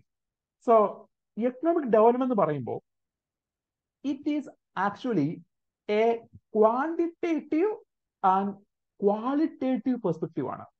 സോ എക്കണോമിക് ഗ്രോത്ത് എന്ന് പറയുമ്പോൾ it was simply quantitative perspective while economic development എന്താണ്? ഒരു ക്വാളിറ്റേറ്റീവിന്റെയും ക്വാണ്ടിറ്റേറ്റീവിന്റെയും ഒരു മേജർ ആണെന്ത് ഈ പറഞ്ഞ എക്കണോമിക് ഡെവലപ്മെന്റ് സോ ഇവിടെ നോക്കുക. എക്കണോമിക് ഡെവലപ്മെന്റ് ഒരു കൺട്രിയിൽ ഉണ്ടാവണമെങ്കിൽ ആ കൺട്രിയിൽ ആദ്യമായി എന്തുണ്ടാവണം? സാമ്പത്തിക വളർച്ച ഉണ്ടാവണം. So economic growth economic growth is essential for economic development ഒരു കൺട്രിയുടെ സാമ്പത്തിക പുരോഗതി ഉണ്ടാവണമെങ്കിൽ ആദ്യം എന്തുണ്ടാവണം ആദ്യം ആ കൺട്രിയിൽ സാമ്പത്തിക വളർച്ച ഉണ്ടാവണം. എന്നാൽ this is essential not sufficient അത് ആവശ്യമാണ്. പക്ഷെ എന്താ? അത് മാത്രം പോരാ. അത് മാത്രം പോരാ. എന്ത് വേണം? സാമ്പത്തിക വളർച്ച ഉണ്ടാവണം. ഒരു കൺട്രിയുടെ നിർമ്മാണങ്ങൾ എന്താ? വർദ്ധിക്കണം. വ്യവസായങ്ങൾ കൂടുതലായിട്ട് ഉൽപ്പന്നം പ്രൊഡ്യൂസ് ചെയ്യുന്നു. കാർഷിക മേഖലയിലെ ഔട്ട്പുട്ട് അതായത് കൃഷി മേഖലയിൽ നിന്ന് കിട്ടുന്ന സംഭരിക്കുന്ന അല്ലെങ്കിൽ നമ്മൾ ഹാർവെസ്റ്റ് ചെയ്യുന്ന നമ്മൾ കൊയ്യുന്ന അരിയും ഗോതമ്പിന്റെയൊക്കെ അളവ് വർദ്ധിക്കുന്നു. പാൽ ഉൽപാദനം വർദ്ധിക്കുന്നു. ഇവിടെ ഈ പറഞ്ഞ പൗലിട്രി മുട്ട ഉൽപാദനം വർദ്ധിക്കുന്നു. അതുപോലെ ഫോറസ്റ്റിൽ നിന്നിട്ട് ഔട്ട്പുട്ട് വർദ്ധിക്കുന്നു. അതുപോലെ ക്വാറിങ് വർദ്ധിക്കുന്നു. മൈനിങ് വർദ്ധിക്കുന്നു. ഇൻഡസ്ട്രിയിലെ ഔട്ട്പുട്ട് വർദ്ധിക്കുന്നു. ഇതെല്ലാം എന്താണ്? ആവശ്യമാണ്. എന്നാൽ അത് മാത്രം പോരാ. അതിനൊപ്പം തന്നെ ആളുകളുടെ ക്ഷേമം വെൽഫെയർ ഓഫ് ദ പീപ്പിൾ എന്ത് ചെയ്യണം? ഇംപ്രൂവ് ചെയ്യണം. അതായത് ആളുകളുടെ എഡ്യൂക്കേഷൻ സ്റ്റാൻഡേർഡ്സ് വിദ്യാഭ്യാസ മേഖലയിൽ അതുപോലെ ഹെൽത്ത് മേഖലയിൽ ആരോഗ്യ മേഖലയിൽ എന്തുണ്ടാവണം? വികസനം ഉണ്ടാവണം. So there should be economic growth along with improvement in health education standards of the people ആളുകളുടെ ആരോഗ്യ മേഖല വർദ്ധിക്കണം. അല്ലെങ്കിൽ ആളുകളുടെ ആരോഗ്യ നിലവാരം വർദ്ധിക്കണം. അതുപോലെ എഡ്യൂക്കേഷൻ പഠന നിലവാരം വർദ്ധിക്കണം. അതുപോലെ പോവർട്ടി ദാരിദ്ര്യം അത് കുറയണം. അൺഎംപ്ലോയ്മെന്റ് തൊഴിലവസരങ്ങൾ എന്ത് ചെയ്യണം? സൃഷ്ടിക്കപ്പെടണം. അല്ലെങ്കിൽ തൊഴിലില്ലായ്മ കുറയണം. എങ്കിൽ മാത്രമേ എന്തുള്ളൂ? വെൽഫെയർ ഇൻക്രീസ് ചെയ്യത്തുള്ളൂ. So economic growth plus welfare dimension അതാണെന്ത്? നമ്മുടെ economic development so economic development എന്ന് പറഞ്ഞാൽ it is a qualitative and quantity concept which measures the socio economic changes in എക്കണോമിയാണ് സാമൂഹികപരമായിട്ടും സാമ്പത്തികപരമായിട്ടും നമ്മുടെ എക്കണോമിൽ ഉണ്ടാകുന്ന മാറ്റങ്ങൾ എക്കണോമിൽ ഉണ്ടാകുന്ന ചേഞ്ചസ് ആണ് എന്ത്? എക്കണോമിക് ഡെവലപ്മെന്റിൽ ചെയ്യുന്നത്. സോ നമുക്കൊരു ക്ലാസിഫിക്കേഷൻ നോക്കാം. This is a potential K S question K എസിന് ചോദിക്കാൻ സാധ്യതയുള്ള ചോദ്യമാണ്. Compare differentiate between economic growth and economic development so നിങ്ങൾ കഴിഞ്ഞ വർഷം കെ എസ് എക്സാം ചെയ്തവർക്ക് അറിയാം മെയിൻസിന് the use to ask concept ചോദിക്കാറുണ്ട്. അനലിറ്റിക് ചോദിക്കാറുണ്ട്. ഞാൻ പറഞ്ഞല്ലോ ടു മോഡ്സ് ഓഫ് ക്വസ്റ്റ്യൻസ് നിങ്ങൾക്ക് കാണാൻ കഴിയും. സോ ഈ എക്കണോമിക് ഗ്രോത്ത് ഡെവലപ്മെന്റ് ചോദിക്കാൻ കഴിയുന്നതാണ്. എന്താ? ഒരു പ്രൊട്ടക്ഷൻ ചോദ്യമാണ്. സോ എക്കണോമിക് ഗ്രോത്ത് എന്താ പറഞ്ഞേ? It is a quantitative concept വല്ല എക്കണോമിക് ഡെവലപ്മെന്റോ quantitative and qualitative രണ്ടുമുണ്ട്.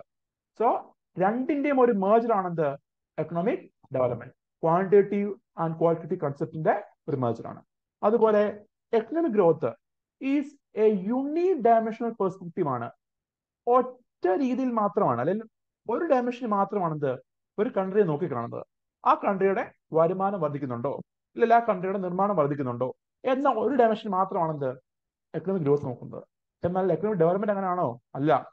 It is viewing the country's progress via income growth നോക്കുന്നുണ്ട്. അവിടുത്തെ ആളുകളുടെ ലിവിങ് സ്റ്റാൻഡേർഡ്സ് നോക്കുന്നുണ്ട്. പോവർട്ടി അൺഎംപ്ലോയ്മെന്റ് എന്നിങ്ങനെ മൾട്ടി ഡയമെൻഷണൽ പെർസ്പെക്റ്റീവിലാണ് എന്ത് എക്കണോമിയെ നോക്കിക്കാണുന്നത്. അതുപോലെ എക്കണോമിക് ഗ്രോത്ത് എന്ന് പറയുമ്പോൾ there is an increase in production activity എന്നാൽ ഡൗൺ എന്ന് പറയുമ്പോൾ പ്രൊഡക്ഷൻ ഇംപ്രൂവ് ചെയ്യും. അതുപോലെ തന്നെ വെൽഫെയർ ഡയമെൻഷൻ ഇംപ്രൂവ് ചെയ്യുന്നു. അതുപോലെ ഒരു കൺട്രിയുടെ എക്കണോമിക് ഗ്രോത്ത് സാമ്പത്തിക വളർച്ച വർദ്ധിച്ചു എന്ന് പറഞ്ഞുകൊണ്ട് ആ കൺട്രിയിലെ വെൽഫെയർ ക്ഷേമം ഇംപ്രൂവ് ചെയ്യുമെന്ന് പറയാൻ കഴിയില്ല. അതിന് കാരണം ഞാൻ പറയട്ടെ. ഒരു എക്സാമ്പിൾ പറയാം. ഒരു എക്സാമ്പിൾ കൺസിഡർ ചെയ്യുക സപ്പോസ് ഇന്ത്യ എന്ന കൺട്രി വേണ്ട. ഇന്ത്യ എന്ന കൺട്രി പറയണ്ട തൽക്കാലം suppose is country called A B C A B C എന്നൊരു കൺട്രി ആണെന്ന് വിചാരിക്കുക ആൻഡ് ഈ കൺട്രിയിൽ ആകപ്പാട് ഉൽപ്പാദിപ്പിക്കുന്നത് atom bomb machine gun A K forty seven അതുപോലെ ടാങ്കേഴ്സ് ഡിഫൻസ് എക്യുപ്മെന്റ് മാത്രം വിചാരിക്കുക സോ എന്താ പറഞ്ഞേ? The A country called A B C A B C എന്നൊരു കൺട്രി ഉണ്ട്. ആൻഡ് ഈ കൺട്രിയിൽ ഉൽപ്പാദിപ്പിക്കപ്പെടുന്ന ഉൽപ്പന്നം എന്തൊക്കെയാണ്? Machine gun atom bomb A K forty seven പോലുള്ള വെപ്പൺസ് ഇപ്പൊ മാത്രമാണ് എന്ത് ആ കൺട്രി നിർമ്മിക്കുന്നത്? നോക്കുവാണെങ്കിൽ എന്താ? ഇവയെല്ലാം എവിടെ വരുന്നതാണ്? സെക്കൻഡറി മേഖലയിൽ വരുന്നതാണ്. ആണല്ലോ? ഈ പറഞ്ഞ എ കെ ഫോർട്ടി സെവൻ ആയാലും ഇതെല്ലാം എന്താ? ഒരു മാനുഫാക്ചറിങ് പ്രോസസിന്റെ ഭാഗമായിട്ട് വന്നതാണ്. അതുകൊണ്ട് തന്നെ it is an economic activity ആണ്. സോ ഒരു കൺട്രിയിൽ ഈ പറഞ്ഞ ഡിഫൻസ് എക്യുപ്മെന്റ്സ് എല്ലാം ഇങ്ങനെ വർദ്ധിക്കുകയാണ്. നിർമ്മാണം വർദ്ധിക്കുകയാണ്. എന്ന് പറഞ്ഞുകൊണ്ട് കെൻ ഐ സേ ആ കൺട്രിയിലെ ആളുകളുടെ ലിവിങ് സ്റ്റാൻഡേർഡ്സ് എഡ്യൂക്കേഷൻ ഹെൽത്ത് ഇവയെല്ലാം ഇമ്പ്രൂവ് എന്ന് പറയാൻ പറ്റുമോ ഇല്ല. വരുമാനം കിട്ടും കൺട്രിക്ക് കൺട്രി എന്താ? നമ്മുടെ എ ബി സി എന്ന country it is having trade with foreign country മറ്റു ഫോറിൻ കൺട്രിയുമായിട്ട് എന്ത് ചെയ്യും? ട്രേഡ് ചെയ്യും. സോ ട്രേഡ് ചെയ്യുന്ന ഭാഗമായിട്ട് ഈ കൺട്രി എന്ത് ചെയ്യുന്നു? ഡിഫൻസ് വെപ്പൺസ് മറ്റ് ഫോറിൻ കൺട്രിക്ക് എന്ത് ചെയ്യും? സപ്ലൈ ചെയ്യും. പൈസ കിട്ടും. പക്ഷേ അവിടെ ഹെൽത്തോ എഡ്യൂക്കേഷനോ ഒരു ഫോക്കസ് ഇല്ല എങ്കിൽ ആളുകളുടെ ലിവിങ് സ്റ്റാൻഡേർഡ്സോ അല്ലെങ്കിൽ ആളുകളുടെ വെൽഫെയർ ഉറപ്പെന്ന് പറയാൻ പറ്റുമോ? ഇല്ല. സോ എക്കണോമിക് ഗ്രോത്ത് ഉണ്ടെന്ന് പറഞ്ഞുകൊണ്ട് we cannot say that there is economic development so economic growth ഒരു ഇൻഡിക്കേറ്റർ ആണ്. പക്ഷേ we cannot assure that economic growth മൂലം എപ്പോഴും നെസസറിലി അവിടെ ഡെവലപ്മെന്റ് ഉണ്ടാവുമെന്ന് പറയാൻ കഴിയില്ല. അതുപോലെ എക്കണോമിക് ഡെവലപ്മെന്റ് ഞാൻ പറഞ്ഞു. ഹലോ ആ എക്കണോമിക് ഡെവലപ്മെന്റ് ഞാൻ പറഞ്ഞു. എക്കണോമിക് ഡെവലപ്മെന്റ് ഉണ്ടാവണമെങ്കിൽ there needs economic growth initially അത് കഴിഞ്ഞിട്ടാണെന്ത് അവിടെ ഡെവലപ്മെന്റ് ഉണ്ടാവുന്നത്. ആൻഡ് മെഷർമെന്റ് നോക്കുമ്പോൾ എക്കണോമിക് ഗ്രോത്ത് മെഷർ ചെയ്യുന്നത് നമ്മൾ നേരത്തെ കണ്ട ദേശീയ വരുമാനവും ജി ഡി പിയും ഇവയെല്ലാം മെഷർ ചെയ്യുന്നത് എന്താ? എക്കണോമിക് ഗ്രോത്ത് ആണ്. ഇനി എക്കണോമിക് ഡെവലപ്മെന്റ് മെഷർ ചെയ്ത് നോക്കുവാണെങ്കിലോ there are different indicators like H D I ഒരു ഇൻഡിക്കേറ്റർ ഉണ്ട്. നയന്റീൻ നയന്റിയിൽ നയന്റീൻ നയന്റി ആയിരത്തി തൊള്ളായിരത്തി തൊണ്ണൂറിൽ U N D P U N D P United Nations Development Programme U N D P എന്ന ഒരു organisation release ചെയ്ത ഒരു റിപ്പോർട്ടുണ്ട് ഹ്യൂമൻ ഡെവലപ്മെന്റ് റിപ്പോർട്ട് മനുഷ്യ വികസന റിപ്പോർട്ട് ആൻഡ് ഈ പറഞ്ഞ ഹ്യൂമൻ ഡെവലപ്മെന്റ് റിപ്പോർട്ടിനകത്ത് പ്രതിപാദിച്ച ഒരു സൂചിക ഒരു ഇൻഡിക്കേറ്റർ ആണ് നമ്മൾ കാണുന്ന H D I human development index and ഈ ഇൻഡെക്സ് ഡെവലപ്പ് ചെയ്താലും നോക്കുവാണെങ്കിൽ this index was developed by Mahbub Mahbub ul Haq ഇദ്ദേഹം ഒരു പാകിസ്ഥാനി എക്കണോമിസ്റ്റ് ആണ്. സോ പാകിസ്ഥാനി എക്കണോമിസ്റ്റ് ആയിട്ടുള്ള മഹബൂബ് ഉൽ ഹക്ക് ആണ് ഹ്യൂമൻ ഡെവലപ്മെന്റ് ഇൻഡെക്സ് എന്ന ഈ സൂചി ഡെവലപ്പ് ചെയ്തത്. ആൻഡ് ഈ സൂചി നോക്കുവാണെങ്കിൽ this index is focusing on different dimensions in economy അവിടുത്തെ ഹെൽത്ത് ഡയമെൻഷൻ എഡ്യൂക്കേഷൻ ഡയമെൻഷൻ അതുപോലെ നാഷണൽ ഇൻകം ഡയമെൻഷൻ എന്നിങ്ങനെ മൂന്ന് ഡയമെൻഷൻ നോക്കിയിട്ടാണ് എന്ത് എച്ച് ഡി ഐ എന്ന ഇൻഡെക്സ് ഡെവലപ്പ് ചെയ്തത്. And H D I can be used as an indicator for measuring economic development H D I മാത്രമല്ല നമ്മുടെ ഫിഫ്ത്ത് മോഡ്യൂളിൽ പോപ്പുലേഷൻ എന്ന് പറഞ്ഞ മൊഡ്യൂളിനകത്ത് there are different dimensions different parameters of population അതിൽ നിങ്ങൾ നോക്കുവാണെങ്കിൽ H D I human development index global multi dimensional poverty index അതുപോലെ physical quality of life index എന്നീ സൂചിക കാണാൻ കഴിയും. ഇവയെല്ലാം എന്താ? ഈ എക്കണോമിക് ഡെവലപ്മെന്റ് മെഷർ ചെയ്യുന്ന index okay so I hope ഈ ഒരു ക്ലാസിഫിക്കേഷൻ മനസ്സിലായെന്ന് വിശ്വസിക്കുന്നു. ആൻഡ് നെക്സ്റ്റ് ക്യാൻ സി ഒരു ഡയലോഗ് ആണ്. ഈ ഒരു ഡയലോഗ് നിങ്ങൾ ഓർത്തിരിക്കുക. You can code this dialogue in your mains answer ഒരു മെയിൻസ് ആൻസർ ഒക്കെ എഴുതുമ്പോൾ നിങ്ങൾക്ക് കോട്ടി കഴിയുന്ന ഡയലോഗാണ് growth is only a necessary condition and not a sufficient condition for promotion of wellbeing and raising the standard of living of people so G D P growth ഒരു കൺട്രിയുടെ G D P growth ഉയർന്നിരിക്കുന്നു എന്ന് പറഞ്ഞുകൊണ്ട് ആ കൺട്രിയിലെ ആളുകളുടെ living സ്റ്റാൻഡേർഡ്സും അവരുടെ വെൽഫെയറും improve ചെയ്തു എന്ന് നമുക്ക് പറയാൻ കഴിയില്ല എന്നാണ് പറയുന്നത്. അത് നെസറി കണ്ടീഷൻ ആണ്. ഗ്രോത്ത് അനിവാര്യമാണ്. എന്നാൽ ഗ്രോത്ത് മാത്രം പോരാ. ഗ്രോത്തിനൊപ്പം തന്നെ ആളുകളുടെ ലിവിങ് സ്റ്റാൻഡേർഡ്സ് ആളുകളുടെ വെൽബീങ് വെൽഫെയർ ഒക്കെ എന്ത് ചെയ്യണം? ഡെവലപ്മെന്റ് ഉണ്ടാവണമെങ്കിൽ ഉറപ്പുവരുത്തണം okay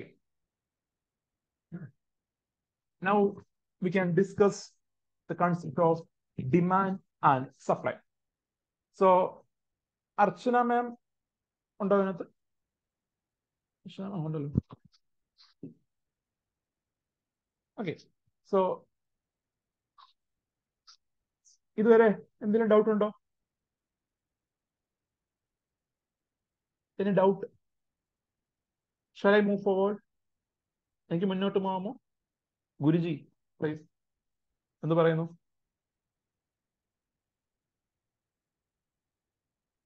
ലാസ്റ്റിലൂടെ ഒന്നുകൂടെ കാണിക്കാമോ? ഓക്കെ ലാസ്റ്റിൽ ഒന്നുകൂടെ കാണിക്കാം. ഞാൻ സ്ലൈഡ് ഷെയർ ചെയ്യുമല്ലോ. ഒന്നുകൂടെ കാണിക്കാം. കുഴപ്പമില്ല.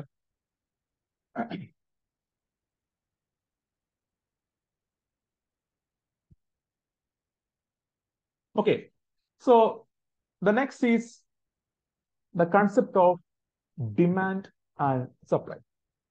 So നമ്മൾ പറഞ്ഞു ഇതൊരു ഇൻട്രോ ക്ലാസ് ആണ്. അതുകൊണ്ട് തന്നെ നമ്മുടെ എക്കണോമിക്സ് ബന്ധപ്പെട്ടുള്ള ചില ഇമ്പോർട്ടന്റ് ആശയങ്ങൾ നമ്മൾ പഠിക്കേണ്ടതുണ്ട്. സോ ഇതിപ്പോൾ ആവശ്യമുണ്ടെന്ന് വെച്ച് കഴിഞ്ഞാൽ നമ്മൾ ഇനിയും പഠിക്കുന്ന സമയത്ത് പല ടോപ്പിക്കുകളും പഠിക്കുമ്പോൾ ഈ ഒരു ടേം ഒക്കെ നമ്മൾ എന്ത് ചെയ്യും? ഉപയോഗിക്കും. ഡിമാൻഡ് സപ്ലൈ ഡിമാൻഡ് സപ്ലൈ എന്നൊക്കെ ടേം ഇടയ്ക്കിടയ്ക്ക് ഞാൻ ഇങ്ങനെ പറയും. സോ അപ്പോൾ അറിഞ്ഞിരിക്കണം എന്താണ് ഉദ്ദേശിക്കുന്നത്. ഫസ്റ്റ് ടേം ഈസ് ഡിമാൻഡ് എന്താണ് ഡിമാൻഡ് എന്ന് പറഞ്ഞത്? നമ്മുടെ എക്കണോമിയിൽ ഇൻ എക്കണോമിക്സിൽ എക്കണോമിക്സ് എന്ന പഠനശാഖയിൽ ഡിമാൻഡ് എന്ന് മീൻ ചെയ്യുന്നത് എന്താണ്? So demand means it is the quantity of good that consumers are willing and able to purchase at various prices during a given period of time അതായത് demand എന്ന് പറഞ്ഞാൽ ഒരു consumer എത്ര quantity items എത്ര വിലയ്ക്ക് വാങ്ങാൻ ബില്ലിംഗ് ആവുന്നു അതുപോലെ അയാൾക്ക് അതിനുള്ള ശേഷി ഉണ്ടാവുന്നു. So demand means it is the quantity of good it is the quantity of good that a consumer is willing അയാൾക്ക് തയ്യാറാവണം. ഫസ്റ്റ് എന്താ വേണ്ടേ? Consumer need to be need to be willing ആയിരിക്കണം. അതുപോലെ തന്നെ വില്ലിംഗ് ആയിരിക്കണം. അതുപോലെ തന്നെ ഹി വിൽ ബി ഏബിൾ അയാൾക്ക് അത് വാങ്ങാൻ ഉള്ള പർച്ചേസിംഗ് പവറും ഉണ്ടായിരിക്കണം. So we can see demand means it is the quantity of good that a consumer is willing and able to purchase at various prices during a given period of time this is the definition of demand so നമ്മൾ എക്കണോമിക്സിൽ demand എന്ന് പറഞ്ഞാൽ definition ഇതാണ്. എത്ര പൈസയ്ക്കാണ് ഒരു consumer ഒരു ഉൽപ്പന്നം വാങ്ങാൻ തയ്യാറാവുന്നത്? അല്ലെങ്കിൽ ഒരു ഉൽപ്പന്നത്തിന്റെ നിശ്ചിത ക്വാണ്ടിറ്റി വാങ്ങാൻ തയ്യാറാവുന്നത് സോ എത്ര പൈസയ്ക്കാണ് ഒരു ഒരു ഉപഭോക്താവ് ഒരു കൺസ്യൂമർ ഒരു ഉൽപ്പന്നത്തിന്റെ നിശ്ചിത ക്വാണ്ടിറ്റി വാങ്ങാൻ തയ്യാറാവുന്നത് എന്നാണ് ഡിമാൻഡ് എന്ന ടേം ചെയ്യുന്നത്. സോ ഈ ഡിമാൻഡ് ബന്ധപ്പെട്ട് ഒരു തിയറി ഉണ്ട്. അതാണ് ലോ ഓഫ് ഡിമാൻഡ് എന്ന് പറയും സോ ലോ ഓഫ് ഡിമാൻഡിൽ പറഞ്ഞത് ഒരു ഉൽപ്പന്നത്തിന്റെ പ്രൈസ് ഇൻക്രീസ് ചെയ്യുമ്പോൾ ഒരു ഉൽപ്പന്നത്തിന്റെ പ്രൈസ് ഇൻക്രീസ് ചെയ്യുമ്പോൾ ഡിമാൻഡ് ഫോർ ദ ഐറ്റം അല്ലെങ്കിൽ ആൾക്കാർ വാങ്ങുന്ന ക്വാണ്ടിറ്റി എന്ത് ചെയ്യുന്നു കുറയുന്നു. So when price increases quantity demand decreases this is the law of demand so you can draw this curve നിങ്ങൾക്ക് ആ കർവ് വരയ്ക്കാം ആ ഗ്രാഫ് വരയ്ക്കാം. On the Y axis there is price of goods ആണ്. Y ആക്സിസിൽ എന്താണ്? Price of goods and X ആക്സിസിൽ it is quantity demand quantity demand ആണ് ഇവിടെ വരുന്നത്? എക്സ് ആക്സിൽ വരുന്നത്. പ്രൈസ് ഓഫ് ഗുഡ്സ് ആണ് വൈ ആക്സിൽ വരുന്നത്. സപ്പോസ് നിങ്ങൾ ഒരു എക്സാമ്പിൾ പറയാം. നമ്മൾ ട്രാവൽ ചെയ്യാന്ന് വെച്ചു. So Trivandrum to Kottayam travel ചെയ്യുന്നു. നിങ്ങൾ ട്രാവൽ ചെയ്യുന്ന സമയത്ത് കാറിൽ പോവാണ്. ട്രെയിനിലൊന്നുമല്ല കാറിൽ പോവാണ്. കാറിൽ പോകുന്ന വഴിക്ക് നിങ്ങൾ റോഡ് സൈഡ് കാണുകയാണ്. ഇപ്പോ അഞ്ച് കിലോ തക്കാളി അൻപത് രൂപ. അത് നിങ്ങൾ കാണുകയാണ്. നിങ്ങളിപ്പോൾ ട്രിവാൻഡത്ത് നിന്ന് കോട്ടയം പോവാണെങ്കിൽ അപ്പൊ പോകുന്ന വഴിക്ക് റോഡ് സൈഡ് നിങ്ങൾ കാണുകയാണ്. അഞ്ച് കിലോ തക്കാളി അൻപത് രൂപ. What are the chances for you to purchase this item അഞ്ചു രൂപയ്ക്ക് അൻപത് രൂപ എന്ന് പറഞ്ഞ് ഒരു ബോർഡ് കാണുന്നു. നല്ല ഫ്രഷ് തക്കാളിയാണ്. നല്ല ക്വാളിറ്റി ഉള്ള തക്കാളിയാണ്. നിങ്ങൾ വാങ്ങുമോ ഇല്ലയോ? വാങ്ങുമായിരിക്കോ എന്ത് പറയുന്നു? റെസ്പോണ്ട് ചെയ്യണം ഞാൻ മാത്രം പറയല്ല. സാർ ഞാൻ വാങ്ങത്തില്ല. അതാണ്. വാങ്ങുമായിരിക്കോ? സാധാരണഗതിയിൽ അല്ല വേണ്ട. തക്കാളി വേണ്ട. ആപ്പിൾ ആയിക്കോട്ടെ. നിങ്ങൾ പോകുന്ന വഴിക്ക് ഒരു അഞ്ചു കിലോ ആപ്പിൾ കാണുന്നു അഞ്ചു കിലോ ആപ്പിൾ അമ്പത് രൂപ എന്ന് കണ്ടു. പലപ്പോഴും കാണാറില്ല? ഈ പെട്ടി ഓട്ടോയിലൊക്കെ ചെറിയ വാനിലും പെട്ടി ഓട്ടോയിലൊക്കെ ആൾക്കാർ പച്ചക്കറി വിൽക്കാറുണ്ടല്ലോ. ഈ പറയുന്ന തക്കാളി അതുപോലെ ഫ്രൂട്ട്സ് ഒക്കെ വിൽക്കാറുണ്ട്. അപ്പൊ അതിന് ബോർഡും കാണും. ഇങ്ങനെ അഞ്ചു കിലോ തക്കാളി സവാള നൂറ് രൂപ ആറ് സവാള നൂറ് രൂപ എന്നൊക്കെ സോ മെജോറിറ്റി ഓഫ് യു എന്ത് ചെയ്യും? അത് പർച്ചേസ് ചെയ്യും. കാരണം എന്താ? നമ്മൾ ഇന്ത്യക്കാർ പ്രധാനമായിട്ടും we are not quality concern നമ്മൾ എന്താ കൺസേൺ ആണ് കൂടുതലും? നമ്മൾ കൂടുതൽ കൺസേൺ ആവുന്നത് ക്വാണ്ടിറ്റിയാണ് നമ്മൾ മുടക്കുന്ന പൈസയ്ക്ക് എത്ര ക്വാണ്ടിറ്റി കിട്ടുക നോക്കുന്നത് നമ്മൾ ഉദാഹരണം പറയുമ്പോൾ ഈ സ്മാർട്ട് ഫോണിന്റെ കേസിന് എടുക്കുക. സ്മാർട്ട് ഫോണിന്റെ കേസ് എടുക്കുക. ഇപ്പം സ്മാർട്ട് ഫോണിന്റെ കേസിൽ ചൈനീസ് ബ്രാൻഡാണ് ഇപ്പൊ നിലവിൽ നമ്മുടെ ഇന്ത്യയിൽ കൂടുതലും റീച്ച് ഉള്ളത് ഇപ്പം റിയൽമി ഉണ്ട്. അതുപോലെ ഷാവോമി ഉണ്ട്. റെഡ്മി അല്ലെങ്കിൽ ഷാവോമി മറ്റേ ചൈനീസ് ബ്രാൻഡാണ് അതുപോലെ ധാരാളം ഞാൻ കേട്ടുള്ള ഒരു കമ്പനി ഉണ്ട്. ഇവയൊക്കെ എന്താണ്? ധാരാളം കൺസ്യൂമർ ബേസ് ഉണ്ട് ഇന്ത്യയിൽ. അതിന് കാരണം ഈ കമ്പനീസിന് കുറഞ്ഞ പ്രൈസിന് കുറഞ്ഞ പ്രൈസിന് കൂടുതൽ പ്രൊഡക്റ്റ് ഡയമെൻഷൻസ് കൊടുക്കാൻ കഴിഞ്ഞു. സോ മുൻപ് പറയുമ്പോൾ നമുക്കുണ്ടായിരുന്നത് ഇന്ത്യയിൽ ഉണ്ടായിരുന്നത് സാംസങ് ഉണ്ട് അതുപോലെ മൈക്രോമാക്സ് ചിലത് കേട്ട് കാണും ചിലത് കേട്ട് കാണും. ഒരു കമ്പനി ഉണ്ടായിരുന്നു മൈക്രോമാക്സിന്റെ ഫോൺ മൈക്രോമാക്സ് സാംസങ്സിയാണ് സോ സാംസങ്ങിനെ മൈക്രോമാക്സിന്റെ ഫോൺ പ്രത്യേകത നല്ല വിലയായിരുന്നു ആ സമയത്ത്. മൈക്രോമാക്സ് കമ്പാരിറ്റീവ് കുറവാണെങ്കിൽ പോലും അത്യാവശ്യം വിലയുണ്ട് ഫോണിന് സോ ഒരു രണ്ട് ജി ബി റാം രണ്ട് ജി ബി റാമുള്ള ഫോണിന് ആ സമയത്ത് ഒരു പതിനയ്യായിരം രൂപയൊക്കെയാണ് വില. ഒരു രണ്ടായിരത്തി പത്ത് സമയത്താണ് പറയുന്നത് ആ ഒരു ടൈമിലാണ് ആ ഒരു ടൈമിലാണ് നമ്മുടെ റെഡ്മി ഒക്കെ ടു ജി ബി റാമിന് ആറായിരവും ഏഴായിരത്തിനൊക്കെ കൊടുക്കാൻ തുടങ്ങിയത്. സോ നോക്കുമ്പോൾ എന്താ കുറഞ്ഞ പ്രൈസ് മറ്റ് ഫോണുകൾ സാംസങ് മൈക്രോമാക്സും പോലുള്ള ബ്രാൻഡുകൾ ഹൈ പ്രൈസിന് ഈ പറഞ്ഞ ഫോൺ വിൽക്കുമ്പോൾ കുറഞ്ഞ പ്രൈസിന് കൂടുതൽ ഡയമെൻഷൻസ് കൊടുത്തുകൊണ്ട് ആര് വന്നു? ഷവോമി വന്നു. അത് കഴിഞ്ഞ് ഈ പറഞ്ഞ ഒപ്പോ വന്നു. പിന്നെ വിവോ വന്നു. ഇല്ലേ? ഞാൻ കുറെ ബ്രാൻഡുകൾ ഇന്ത്യയിലേക്ക് വന്നു. സോ നമ്മളെല്ലാം എന്ത് ചെയ്തു? നമ്മൾ സ്വിച്ച് ചെയ്തു. നമ്മൾ പറയില്ല ഇടയ്ക്ക് ഒരു മേക്ക് ഇൻ ഇന്ത്യ പ്രോഗ്രാം ഉണ്ടെങ്കിൽ പോലും എന്ത് ചെയ്തു? ഈ കമ്പനി അവിടുന്ന് സാധനം എല്ലാം ഉണ്ടാക്കി വന്ന് ഇവിടെ വന്ന് അസംബിൾ ചെയ്തു. വന്നല്ല അവിടെ കൂട്ടി വയ്പ്പിച്ച് പറഞ്ഞു മേക്ക് ഇൻ ഇന്ത്യ ആണ് ഫോം മേടിച്ചു എന്ന് പറഞ്ഞു. സോ എനിവേ എന്താ? വി ആർ മോർ ക്വാണ്ടിറ്റി കൺസേൺഡാ നമ്മൾ കൊടുക്കുന്ന പൈസയ്ക്ക് കൂടുതൽ കിട്ടുമോ ഇല്ലയോ? അത് നോക്കുന്നത്. സോ എന്തിരുന്നാലും ഇവിടെ നോക്കുക. അഞ്ച് കിലോ തക്കാളി അമ്പത് രൂപ എന്ന് കണ്ടപ്പോൾ മെജോറിറ്റി ഓഫ് നിങ്ങൾ പർച്ചേസ് ചെയ്തു. നേരെ മറിച്ച് നിങ്ങളിപ്പോ യാത്ര ചെയ്യാണ്. ട്രിവാൻഡ്രം ടു കോട്ടയം യാത്ര ചെയ്യുന്നു. ആ സമയത്ത് നിങ്ങൾ കാണുകയാണ് ഒരു കിലോ തക്കാളി ഇരുന്നൂറ് രൂപ എന്നൊരു ബോർഡ് കണ്ടു. നിങ്ങൾ വാങ്ങുമായിരിക്കോ മെജോറിറ്റി ഓഫ് യു വാങ്ങത്തില്ല. അതിന് കാരണം എന്താ? You are not ready to give two hundred rupees for purchasing one K G tomato ഒരു കിലോ തക്കാളി വാങ്ങാൻ ഇരുന്നൂറ് രൂപ കൊടുക്കാൻ നിങ്ങൾ എന്താ? അത്ര റെഡി ആവത്തില്ല. നിങ്ങൾക്ക് അത്ര ആവശ്യമാണെങ്കിൽ you may purchase half K G വല്ലതും വാങ്ങും നോക്കുവാണെങ്കിൽ ഉൽപ്പന്നങ്ങളുടെ പ്രൈസ് കൂടുന്നതനുസരിച്ച് ഉൽപ്പന്നങ്ങളുടെ പ്രൈസ് കൂടുന്നതനുസരിച്ച് നമ്മൾ വാങ്ങുന്ന ക്വാണ്ടിറ്റി എന്ത് ചെയ്യും? കുറയും. അല്ലെങ്കിൽ നമ്മൾ ഡിമാൻഡ് ചെയ്യുന്ന ക്വാണ്ടിറ്റി എന്ത് ചെയ്യും? കുറയും. നമ്മൾ ബില്ലിംഗ് ആയിട്ട് നമ്മൾ വാങ്ങുന്ന ക്വാണ്ടിറ്റി അല്ലെങ്കിൽ നമ്മൾ നമുക്ക് കഴിയുന്ന ക്വാണ്ടിറ്റി പർച്ചേസ് ചെയ്യുന്ന ക്വാണ്ടിറ്റി കുറയും. സോ യു ക്യാൻ സി ഈ ഗ്രാഫിനകത്ത് നോക്കുവാണെങ്കിൽ ഒരു ഉൽപ്പന്നത്തിന്റെ വില അഞ്ച് രൂപയായിരുന്നപ്പോ ഒരു ഉൽപ്പന്നത്തിന്റെ വില അഞ്ച് രൂപയായിരുന്നപ്പോ a person is purchasing or person is is and and to purchase ten units അഞ്ച് രൂപയായിരുന്നപ്പോ പത്ത് ഉൽപ്പന്നം വാങ്ങാൻ ഒരാൾ തയ്യാറായിരുന്നു. നാല് രൂപയായിരുന്നപ്പോ he's demanding twenty rupee twenty items മൂന്ന് രൂപയായപ്പോ ഹീസ് ഡിമാൻഡിങ് തേർട്ടി ഐറ്റംസ് രണ്ട് രൂപയായപ്പോ ഹീസ് ഡിമാൻഡിങ് ഫോർട്ടി ഐറ്റംസ് ഒരു രൂപയായപ്പോ ഹീസ് ഡിമാൻഡിങ് ഫിഫ്റ്റി ഐറ്റംസ് നോക്കുവാണെങ്കിൽ ഇവിടെ നോക്കുമ്പോൾ പ്രൈസ് ഒന്ന് രണ്ട് മൂന്ന് നാല് അഞ്ച് എന്ന രീതിയിൽ കൂടുന്നതനുസരിച്ച് ക്വാണ്ടിറ്റി ഡിമാൻഡ് എന്ത് ചെയ്യുന്നുണ്ട്? അൻപത് നാൽപ്പത് മുപ്പത് ഇരുപത് പത്ത് എന്നിങ്ങനെ കുറയുന്നുണ്ട്. സോ പ്രൈസ് എന്ത് ചെയ്യുന്നു? കൂടുന്നു. ക്വാണ്ടിറ്റി ഡിമാൻഡ് കുറയുന്നു. സോ ഗ്രാഫ് നോക്കുമ്പോൾ പ്രൈസ് എന്താ? കുറയുമ്പോ എന്താ? ഡിമാൻഡ് കൂടുതലായിരിക്കും. പ്രൈസ് കൂടുമ്പോ സോറി ആ പ്രൈസ് കൂടുമ്പോ യു ക്യാൻ സി പ്രൈസ് കൂടി ഡിമാൻഡ് കുറഞ്ഞു. പ്രൈസ് കുറഞ്ഞു ഡിമാൻഡ് എന്ത് ചെയ്തു? കൂടി. സോ പ്രൈസ് ഇപ്പോൾ എന്താ? ഇവിടെ ഇപ്പോ ഒരു രൂപയായി. ഒരു രൂപയപ്പോ എന്താ? മോർ ക്വാണ്ടിറ്റി ഡിമാൻഡ് ചെയ്തു. ഒരു രൂപയായപ്പോ കൂടുതൽ ഉൽപ്പന്നം ഡിമാൻഡ് ചെയ്തു. രണ്ട് രൂപയായപ്പോ ഡിമാൻഡ് കുറഞ്ഞു. മൂന്ന് രൂപയായപ്പോ ഡിമാൻഡ് പിന്നെയും കുറഞ്ഞു. നാല് രൂപയായപ്പോ പിന്നെയും ഡിമാൻഡ് കുറഞ്ഞു. കണ്ടോ? So we can see when price increases quantity demand decreases price കൂടുന്നതനുസരിച്ച് ഒന്ന് രണ്ട് മൂന്ന് നാല് അഞ്ച് എന്നിങ്ങനെ പ്രൈസ് കൂടുന്നതനുസരിച്ച് ആൾക്കാർ ഡിമാൻഡ് ചെയ്യുന്ന ക്വാണ്ടിറ്റി എന്ത് ചെയ്യുന്നു? ഡിമാൻഡ് ചെയ്യുന്ന ക്വാണ്ടിറ്റി കുറയുന്നു. കണ്ടില്ലേ? ഡിമാൻഡ് എന്താ? ഇവിടുന്ന് ഇങ്ങോട്ട് കുറെ നാട്ട് കാണാൻ കഴിയും.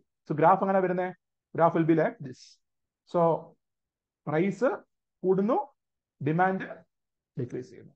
That is law of demand എന്നാ പറയട്ടെ this law of demand theory പറഞ്ഞിങ്ങനെയാണ് when price increases quantity demand decreases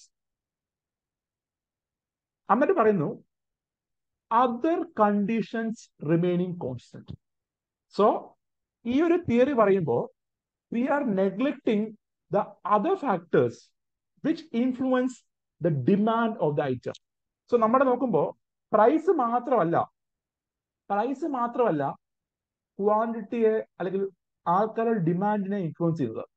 ഒരു ഉൽപ്പന്നത്തിന്റെ വില മാത്രമല്ല ആൾക്കാരുടെ ഡിമാൻഡിനെ ഇൻഫ്ലുവൻസ് ചെയ്യുന്നത്. എന്നാൽ in this law of demand എന്താ പറയുന്നത് it only considers the element of price മാത്രമാണ്. സോ പ്രൈസ് കൂടുമ്പോൾ ക്വാണ്ടിറ്റി ഡിമാൻഡ് ഡിക്രീസ് ചെയ്യും. Considering all other factors remaining constant so ഇതിനൊപ്പം ആഡ് ചെയ്യുകയാണെങ്കിൽ when price increases quantity demand decreases considering all other factors which influence the price of goods അല്ലെ which influence the demand of goods. നമ്മുടെ demand of ഗുഡ്സിനെ influence ചെയ്യുന്ന മറ്റ് factors എല്ലാം influence the demand of goods ഇവയെല്ലാം എന്താണ്? Constant ആണെന്ന ആശയത്തിലാണെന്ത്? ഈ ലോ ഡിസൈൻ ചെയ്തേക്കുന്നത് so when price increases quantity demand decreases considering all the factors remaining constant എന്ന് നമുക്ക് പറയാം. This is the law of demand ഇനി പറയട്ടെ ഒരു ഡിമാൻഡിനെ ഡിറ്റർമൈൻ ചെയ്യുന്ന ഫാക്ടേഴ്സ് അപ്പൊ എന്തൊക്കെയാണ്? ഒന്ന് നമ്മൾ പറഞ്ഞ എന്താ? Price as per law of demand നമ്മൾ പറഞ്ഞു price is the major influencing factor of demand നമ്മൾ ഡിമാൻഡിനെ ഒരു വ്യക്തികൾ ഒരു ഉൽപ്പന്നം കൺസ്യൂം ചെയ്യണോ വേണ്ടയോ? ഒരു ഉൽപ്പന്നം വാങ്ങണോ വേണ്ടയോ? ഇത് നിർണയിക്കുന്ന മെയിൻ ഫാക്ടർ എന്ത് തന്നെയാണ്? പ്രൈസ് ആണ്. എന്നാൽ പ്രൈസ് മാത്രമാണോ? അല്ല. പ്രൈസിനൊപ്പം തന്നെ there are other determinants of demand ആൾക്കാരുടെ ഡിമാൻഡിനെ ഇൻഫ്ലുവൻസ് ചെയ്യുന്ന മറ്റ് ചില ഫാക്ടേഴ്സും ഉണ്ട്. അതിലൊന്നാണ് taste or level of desire or consumer preference ഇപ്പൊ നോക്കുക നമ്മുടെ കേരളം അല്ലെങ്കിൽ സൗത്ത് ഇന്ത്യയിലെ സ്റ്റേപ്പിൾ ഫുഡ് ഐറ്റം റൈസ് ആണ്. നമ്മുടെ മെജോറിറ്റി ആൾക്കാരും റൈസ് കഴിക്കാൻ ആഗ്രഹിക്കുന്നു അല്ലേ? സോ ഇത് പറയുമ്പോൾ ഒരു എക്സാമ്പിൾ പറയാം. കുറച്ചു കാലം കുറച്ചു കാലമല്ല ഒരു പത്തിരുപത് കൊല്ലം മുന്നേ നമ്മുടെ ഇന്ത്യയിലേക്ക് വന്നൊരു ബ്രാൻഡാണ് കെലോക്സ് കേട്ട് കാണുമല്ലോ നിങ്ങൾ കെലോക്സ് കോൺഫ്ലെക്സ് കെലോക്സ് ഓട്സ് കേട്ടില്ലേ സോ കെലോക്സ് എന്ന് പറഞ്ഞാൽ ഒരു ഫോറിൻ ബ്രാൻഡാണ് സോ ഇന്ത്യയിലേക്ക് വന്ന ഈ brand when it was introduce in India ഇന്ത്യയിൽ ഈ ബ്രാൻഡ് ഇൻട്രൊഡ്യൂസ് ചെയ്തപ്പോൾ അവർ പറഞ്ഞത് വിത്തിൻ ടെൻ ഇയേഴ്സ് പത്ത് വർഷം കൊണ്ട് നമ്മുടെ ഇന്ത്യയിലെ ആളുകളുടെ ബ്രേക്ക്ഫാസ്റ്റ് മീൽ എന്ന് പറഞ്ഞാൽ എന്തായിരിക്കും? കെലോക്സ് ആയിരിക്കും. അല്ലെങ്കിൽ ഇന്ത്യയിലെ ആളുകളുടെ ബ്രേക്ക്ഫാസ്റ്റിൽ ഒരു ഒരു ഒരു ഡ്രാസ്റ്റിക് ചേഞ്ചുകൾ കൊണ്ടുവരും. എന്താ? കെലോക്സ് ഇനി ആൾക്കാർ എന്ത് ചെയ്യും? ഓട്സും കോൺഫ്ലെക്സും മാത്രമേ കഴിക്കുന്നത് ബാക്കി എല്ലാവരും ഉപേക്ഷിക്കും. നമ്മുടെ ദോശ ഇഡ്ലി പുട്ട് പോലുള്ള ഐറ്റംസ് എല്ലാം ഉപേക്ഷിച്ചിട്ട് ആൾക്കാർ എന്ത് ചെയ്യും? കെലോക്സ് കോൺഫ്ലെക്സ് കെലോക്സ് ഓട്സ് അതിലേക്ക് എന്ത് ചെയ്യും? ആൾക്കാർ ഷിഫ്റ്റ് ചെയ്യും. എന്നൊരു എന്താ ഒരു വിഷനാണ് അവർ കൊണ്ടുവന്നത്.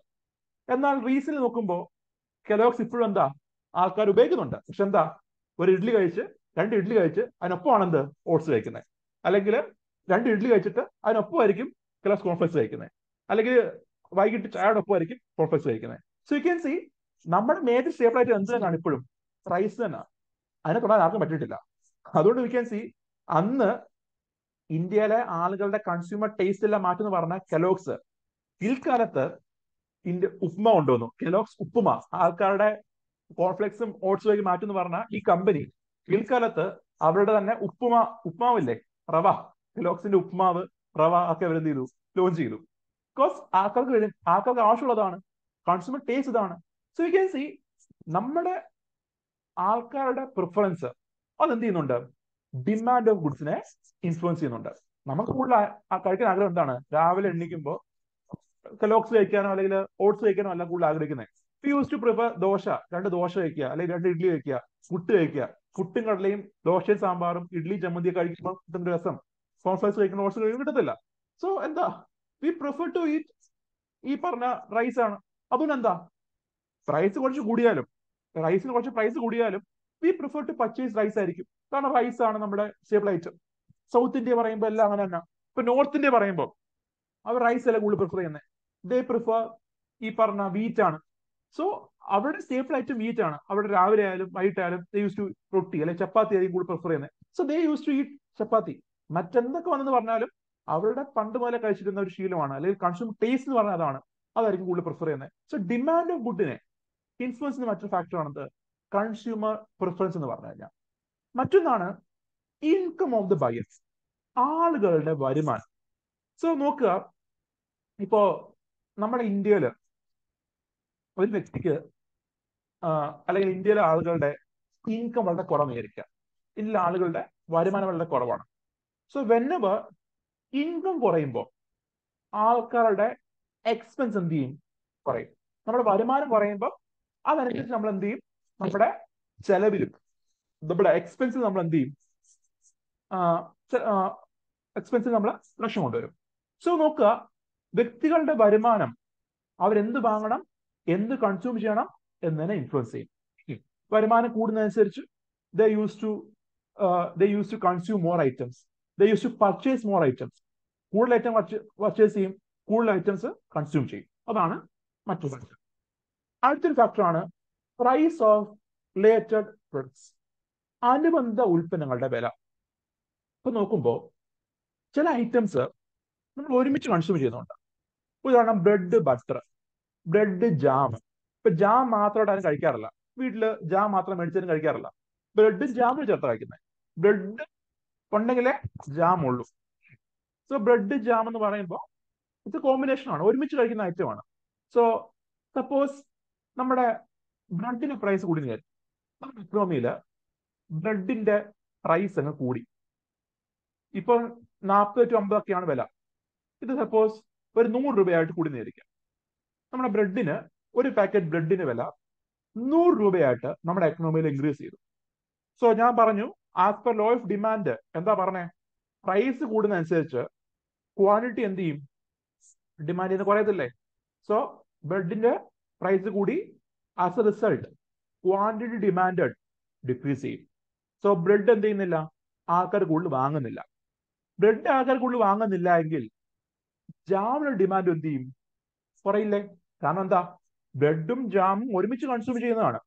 സോ ബ്രെഡിന്റെ വില അൻപതിൽ നിന്ന് നൂറായിട്ട് ഇൻക്രീസ് ചെയ്തപ്പോ ബ്രെഡിന്റെ പർച്ചേസിങ് കുറഞ്ഞു.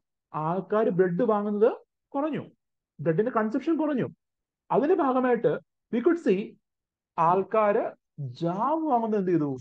പറഞ്ഞു so price of related products ആണ് അതാണ്. സോ ചില ഉൽപ്പന്നങ്ങൾ ഒരുമിച്ച് കഴിക്കുന്നതാണ്. അതിൽ ഒരു ഉൽപ്പന്നത്തിന്റെ പ്രൈസ് കൂടിക്കഴിഞ്ഞാൽ മറ്റു ഉൽപ്പന്നത്തിന്റെ അതിന്റെ അതിനൊപ്പം ഉപയോഗിക്കുന്ന ഉൽപ്പന്നത്തിന്റെ ഡിമാൻഡിനെയും ബാധിക്കാം.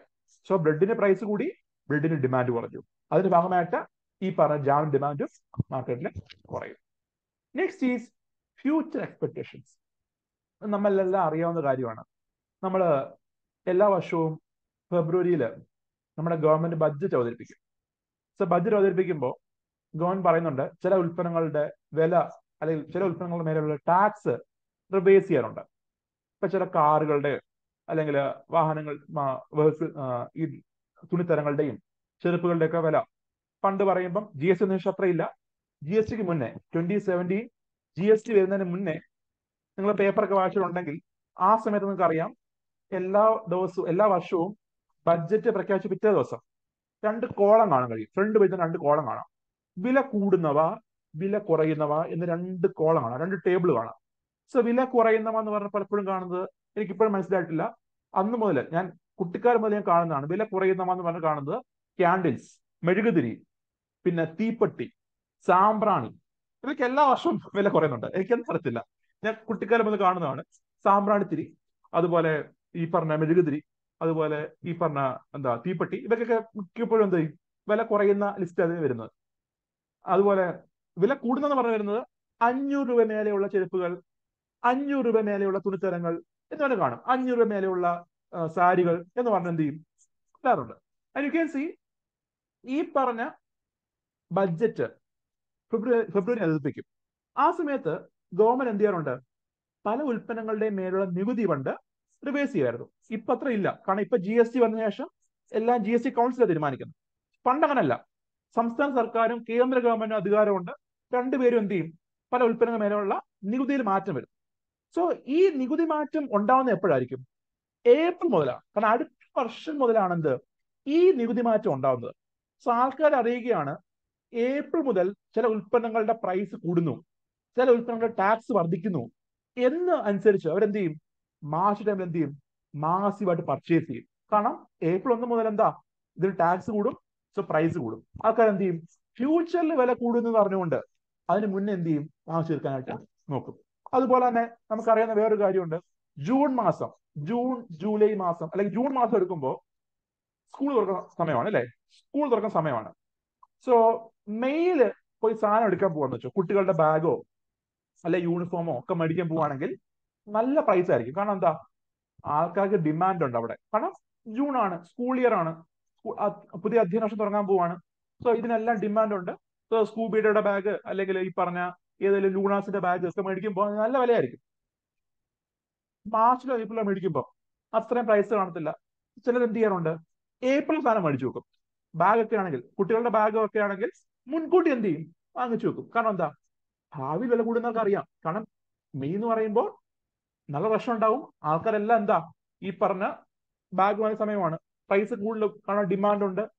ആൾക്കാർ എല്ലാവരും വാങ്ങുന്നതാണ്. സോ കമ്പനി എന്ത് ചെയ്യും? പ്രൈസ് കൂട്ടും. ലാഭം കിട്ടാൻ വേണ്ടി. സോ നേരത്തെ എന്ത് ചെയ്യും? ആൾക്കാർ വാങ്ങാറുണ്ട്. സോ ഫ്യൂച്ചർ എക്സ്പെക്ടേഷൻസ് എന്ത് ചെയ്യാം? ആൾക്കാർ സാധനം വാങ്ങുന്നതിനെ ഇൻഫ്ലുവൻസ് ചെയ്യാം. ആൾക്കാർ ഡിമാൻഡിനെ ഇൻഫ്ലുവൻസ് ചെയ്യാം.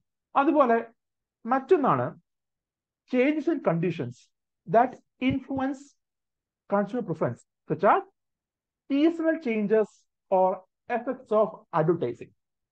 ഈ പറഞ്ഞ സീസണൽ ചേഞ്ചസ് ഇത് നിങ്ങൾക്ക് അറിയാവുന്ന കാര്യമാണ്. നിങ്ങളെ പലപ്പോഴും കാണുന്ന ഒരു കാര്യമാണ്. നമ്മുടെ ക്രാക്കേഴ്സ് ഉണ്ടല്ലോ.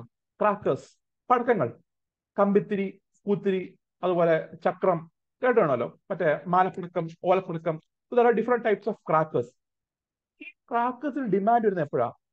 ഒരു ഫസ്റ്റ് ടൈമിലാണ് ഈ പറഞ്ഞ ദീപാവലി സമയം അല്ലെങ്കിൽ ഈ പറഞ്ഞ ക്രിസ്മസ് ടൈം അതുപോലെ ഈ പറഞ്ഞ വിഷു സമയം ആ ടൈമിലാണെന്ത് ആൾക്കാർ കൂടുതലും ഈ പറഞ്ഞ ക്രാക്കേഴ്സും പടക്കങ്ങളൊക്കെ കൂടുതൽ വാങ്ങുന്നത്. So during that time during that season എന്ത് ചെയ്യും? ഡിമാൻഡ് വർദ്ധിക്കും. സോ നമ്മുടെ ക്രാക്കേഴ്സിന്റെ ബിസിനസ് നോക്കി കഴിഞ്ഞാൽ അവരായാലും അങ്ങനെ തന്നെ ശിവകാശിയിലൊക്കെ ധാരാളം ക്രാക്കർ ഫാക്ടറി ഉണ്ട്. ക്രാക്കർ നിർമ്മാണ ഫാക്ടറി ഉണ്ട്. അവരും കൂടുതലും വർക്ക് ചെയ്യുന്ന എപ്പോഴാ? ഈ ഫസ്റ്റ് സീസണിലാണ് ഈ ദീപാവലി വിഷു അല്ലെങ്കിൽ ഈ ക്രിസ്മസ് ന്യൂ ഇയർ ആ ടൈമിലാണ് കൂടുതൽ എന്ത് ചെയ്യുന്നത്? അവർ വർക്ക് ചെയ്യുന്നത്. കാരണം ആ സമയത്ത് ഡിമാൻഡ് കൂടുതലാണ് സീസണൽ ചേഞ്ചസ് എന്ത് ചെയ്യുന്നുണ്ട്? ഇൻഫ്ലുവൻസ് ചെയ്യുന്നുണ്ട്. അതുപോലെ നമ്മുടെ സ്കൂൾ ടൈമിൽ ജൂൺ മാസ സമയത്ത് ഈ പറഞ്ഞ തുണിത്തരങ്ങളുടെ യൂണിഫോം സ്കൂൾ ബാഗ് അതിന് ഡിമാൻഡ് വർദ്ധിക്കുന്നു. ഓണം സമയത്ത് അല്ലെങ്കിൽ ഫെസ്റ്റ് സമയത്ത് ആൾക്കാർ എന്ത് ചെയ്യും? കൂടുതൽ ക്ലോത്ത്സ് പർച്ചേസ് ചെയ്യും. കൂടുതൽ ഐറ്റംസ് പർച്ചേസ് ചെയ്യും.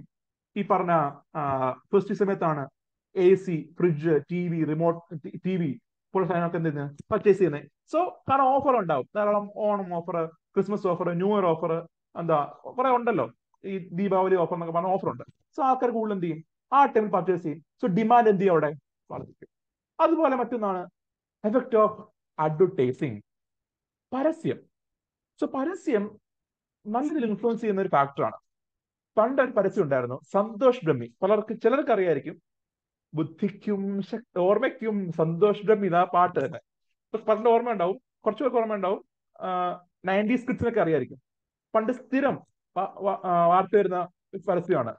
ബുദ്ധിക്കും ഓർമ്മയ്ക്കും സന്തോഷ് ചാട്ടാ. പാട്ടാ സോ ഇത് ഇൻഫ്ലുവൻസ് ചെയ്യുന്നത് എന്താ?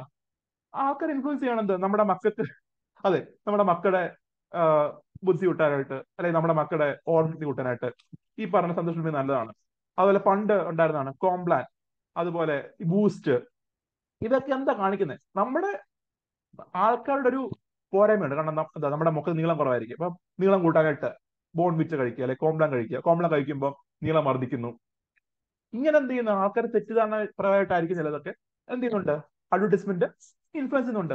അതുപോലെ പണ്ടൊരു പരസ്യം ഉണ്ടായിരുന്നു. നിങ്ങൾക്ക് ഓർമ്മയുണ്ടാവും ചിലപ്പോൾ ഇന്ദുലേഖ എന്ന് പറഞ്ഞിട്ട് ഒരു ഹെയർ ഓയിൽ സോ ഇത് നല്ല രസമാണ് പരസ്യം. ഇന്ദുലേഖ ഹെയർ ഓയിൽ അത് വാങ്ങിച്ചിട്ടുണ്ടോ? ഇന്ദുലേഖ ഹെയർ ഓയിൽ അറിയാമോ? ആ ബ്രാൻഡ് അറിയാലോ?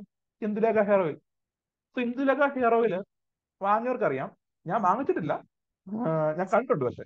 എനിക്ക് വേണ്ടിയല്ല ഞാൻ ഇങ്ങനെ കണ്ടിട്ടുണ്ട്. എന്റെ ഒരു ഫ്രണ്ട് വാങ്ങിച്ച കണ്ടിട്ടുണ്ട്. ആ ഹെയർ ഓയിലിനകത്ത് ഒരു പരസ്യമുണ്ട്. പരസ്യമല്ല. ആ ഹെയർ ഓക്കെ ആ ഹെയർ ഓയിലിനകത്ത് ഒരു കാര്യം എഴുതിയിട്ടുണ്ട്. ഈ എണ്ണ ഉപയോഗിക്കുമ്പോൾ കയ്യിലാവുകയാണെങ്കിൽ പെട്ടെന്ന് കൈ കളയണം കയ്യിലൊക്കെ ആവുകയാണെങ്കിൽ കൈത്തണ്ടയിലോ കയ്യിലോ ഒക്കെ ഈ പറഞ്ഞ എണ്ണ വീഴുകയാണെങ്കിൽ പെട്ടെന്ന് തന്നെ എന്ത് ചെയ്യുക? അത് കഴുകി കളയുക. അത് ഇതിലുള്ളതാ ആ ബോർഡിൽ ഉള്ളതാണ്. അല്ലെങ്കിൽ എന്താ അമിതമായ മുടിവിളർച്ച ഉണ്ടാവും. സോ ഇതൊരു അഡ്വർടൈസ്മെന്റാ പക്ഷെ എന്താ അത്രത്തെ എഫക്റ്റീവ് ആണ് നമ്മുടെ ഇന്ദുലേഖ ഹെയർ ഓയിൽ എന്ന് കാണിക്കുക. കയ്യിലോ അല്ലെങ്കിൽ നിങ്ങളുടെ കൈത്തണ്ടയിലൊക്കെ ആവുകയാണെങ്കിൽ എന്ത് പെട്ടെന്ന് പോയി കഴുകി കളയണം. അല്ലെങ്കിൽ എന്താ? രോമവളർച്ച ഉണ്ടാവും അല്ലെങ്കിൽ മുടി വളർച്ച ഉണ്ടാവും പെട്ടെന്ന് രോമം വളരും. സോ ഇത് വായിക്കുമ്പോൾ നമ്മൾ അത്ര വ്യക്തി കൈ വീണാൽ തന്നെ ഇത് രോമം കളിക്കും. കയ്യിലൊക്കെ വീണ് കഴിഞ്ഞാൽ രോമം കളിക്കും. സോ എന്ത് ചെയ്യുക? പെട്ടെന്ന് എന്ത് ചെയ്യുക? കൈ കളയുക. സോ ഇത് ആൾക്കാർ എന്ത് ചെയ്യുന്നുണ്ട്? ഇൻഫ്ലുവൻസ് ചെയ്യുന്നുണ്ട്. അതുപോലെ മമ്മൂട്ടിയുടെ പരസ്യം ഉണ്ടായിരുന്നു. എന്തിലേക്ക? സോപ്പിന്റെ. സൗന്ദര്യം നിങ്ങളെ തേടി വരുന്നു പറഞ്ഞു. ഞാൻ വായിച്ചിട്ടുണ്ട് അങ്ങനെ. ഒരു വട്ടം. ഒരു വട്ടം വായിച്ചിട്ടുണ്ട്. ഈ പറഞ്ഞ ഇതിലേക്ക സോപ്പ്. മമ്മൂട്ടി പറഞ്ഞുണ്ട് എന്തായാലും തേടി വന്നൊന്നുമില്ല. ശരിവേ അഡ്വർടൈസ്മെന്റ് എന്ത് ചെയ്യാറുണ്ട്? ഇൻഫ്ലുവൻസ് ചെയ്യാറുണ്ട്. ഓക്കെ എനിവേ കുഴപ്പമില്ല സാർ ശരിയാവും. So next you can see some goods which negates the law of demand നമ്മൾ നേരത്തെ കണ്ട ലോ ഓഫ് ഡിമാൻഡിനെ ഒപ്പോസ് ചെയ്യുന്ന അല്ലെങ്കിൽ ആ ലോ ഓഫ് ഡിമാൻഡ് എന്ന തിയറിയെ അതിനെ വിപുലമായി പ്രവർത്തിക്കുന്ന ചില ഗുഡ്സ് നോക്കാം. അതാണ് അടുത്ത് പറയാൻ പോകുന്നത്. അതാണ് types of goods so types of goods എന്ന് പറഞ്ഞു കഴിഞ്ഞാൽ it includes those goods which negates or which opposes the law of demand നമ്മൾ നേരത്തെ കണ്ട ലോ ഓഫ് ഡിമാൻഡ് എന്ന് പറഞ്ഞ ആ തിയറിയെ നെഗേറ്റ് ചെയ്യുന്ന അല്ലെങ്കിൽ അതിന് വിഭിന്നമായിട്ട് വർക്ക് ചെയ്യുന്ന ചില ഉൽപ്പന്നങ്ങൾ. അതാണെന്ത്? ടൈപ്സ് ഓഫ് ഗുഡ്സിൽ പറയുന്നത്.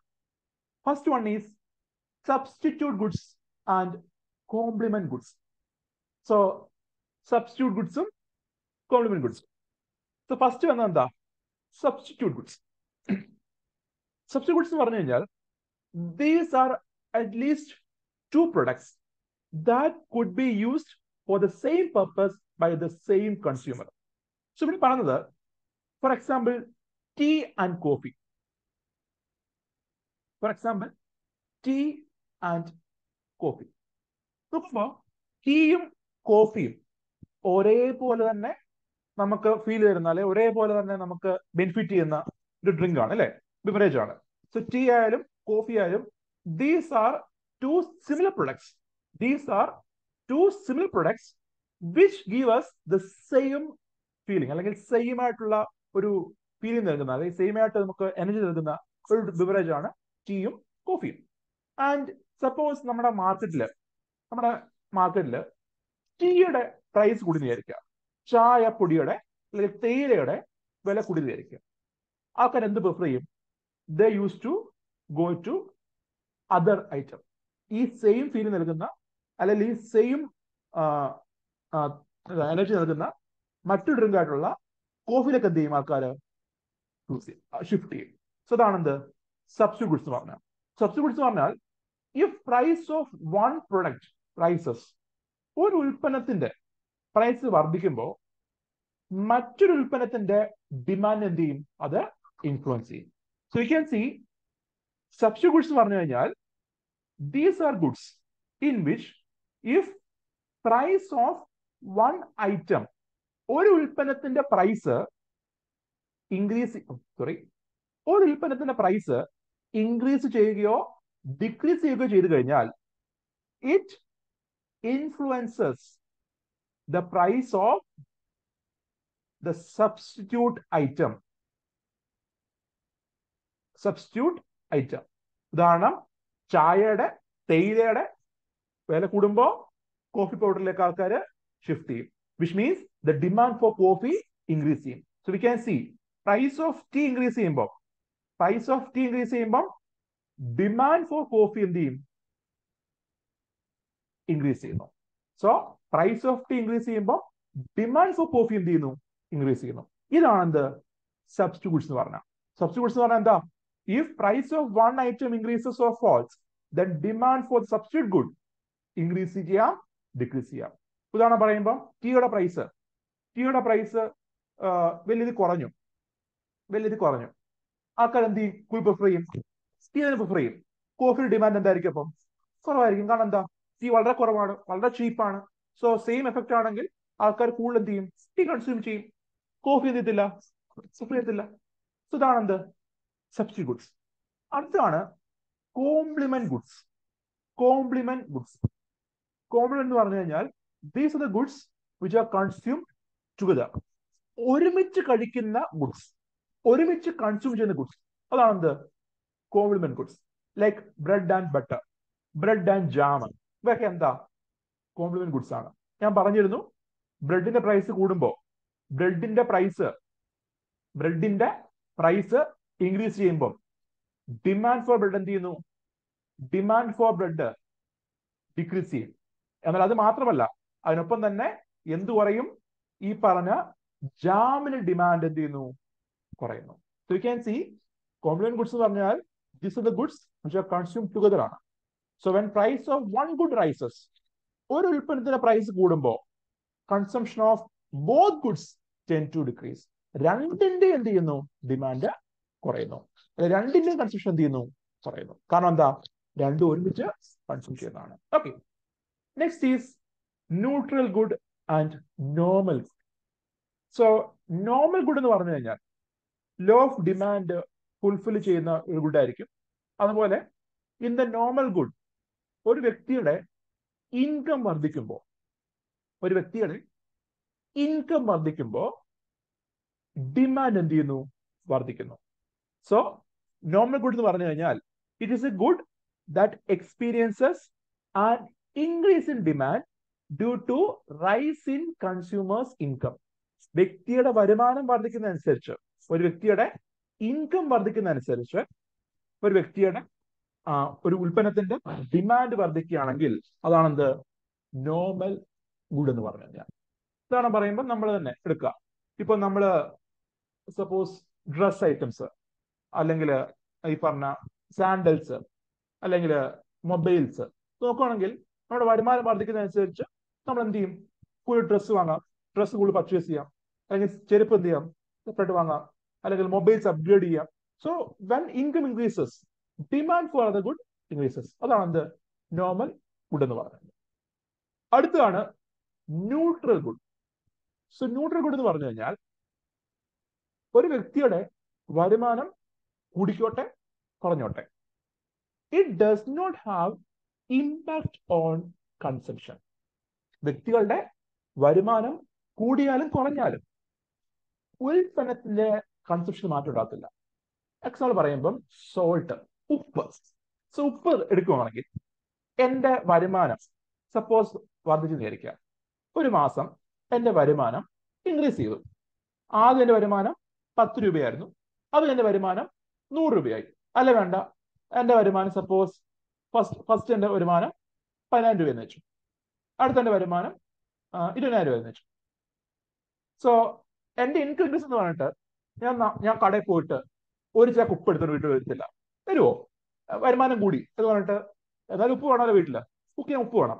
എന്ന് പറഞ്ഞിട്ട് എന്റെ വരുമാനം കൂടി എന്ന് പറഞ്ഞിട്ട് ഞാൻ ഒരു ചാക്ക് ഉപ്പുമായിട്ട് വീട്ടിൽ വരത്തില്ല. കാരണം എന്താ? ഈ പറഞ്ഞ സോൾട്ട് എന്ന് പറഞ്ഞു കഴിഞ്ഞാൽ ഒരു മിനിമം എമൗണ്ടിലാണ് ഉപയോഗിക്കുന്നത്. അല്ലേ? വീട്ടിൽ കുക്ക് ചെയ്യാൻ ഉപയോഗിക്കുന്നുണ്ടെങ്കിലും we are using salt in a minimum amount അപ്പൊ ഒരു ദിവസം തന്നെ കുറച്ച് ക്വാണ്ടിറ്റി ഉപ്പാണ് ഉപയോഗിക്കുന്നത്. സോ വെൻ ഇൻകം ഇൻക്രീസസ് ഈ പറഞ്ഞ സോൾട്ടിന് കൺസെപ്ഷൻ എന്തില്ല അത് ഇൻഫ്ലുവൻസ് ചെയ്തില്ല it does not have influence on consumption of ഇതാണ് എന്ത് ന്യൂട്രൽ ഗുഡ് എന്ന് പറഞ്ഞു കഴിഞ്ഞാൽ. സോ ന്യൂട്രൽ ഗുഡ് എന്ന് പറഞ്ഞാൽ the consumer doesn't care about it one or one way or other so വരുമാനം കൂടിക്കോട്ടെ. അയാളുടെ ശമ്പളം കൂടിക്കോട്ടെ. അയാൾ ഈ പറഞ്ഞ ഉൽപ്പന്നത്തിന്റെ കൺസെപ്ഷനിൽ മാറ്റം കൊണ്ടുവരുന്നത്. ഓക്കെ ഇതിപ്പോ ഉപ്പില്ലേ സാർ അതിപ്പോ നമ്മളിപ്പോ പ്രീമിയം ക്വാണ്ടിറ്റി ക്വാളിറ്റി ഒക്കെ വാങ്ങുന്നത് അത് അതിൽ വരില്ല അല്ലേ? ഇല്ല ഇത് നോർമൽ കേസിൽ നോർമൽ കേസ്. അല്ല അല്ലാതെ ഈ ഒരു സാധനം എന്ന് മാത്രമേ ഉള്ളൂ. അല്ലാതെ നമ്മുടെ നമ്മൾ വേറെ സാധനങ്ങൾ വാങ്ങിയപ്പോ ഉദ്ദേശിച്ചത്. ഞാൻ ഒരു എക്സാമ്പിൾ പറഞ്ഞതേ ഉള്ളൂ. ഇപ്പം പ്രീമിയം ക്വാളിറ്റികൾ മാറുന്ന എക്സാമ്പിൾ ഉണ്ട്. അതിന് വേറെ ടൈപ്പ് ഉണ്ട്. ഞാൻ പറയാം.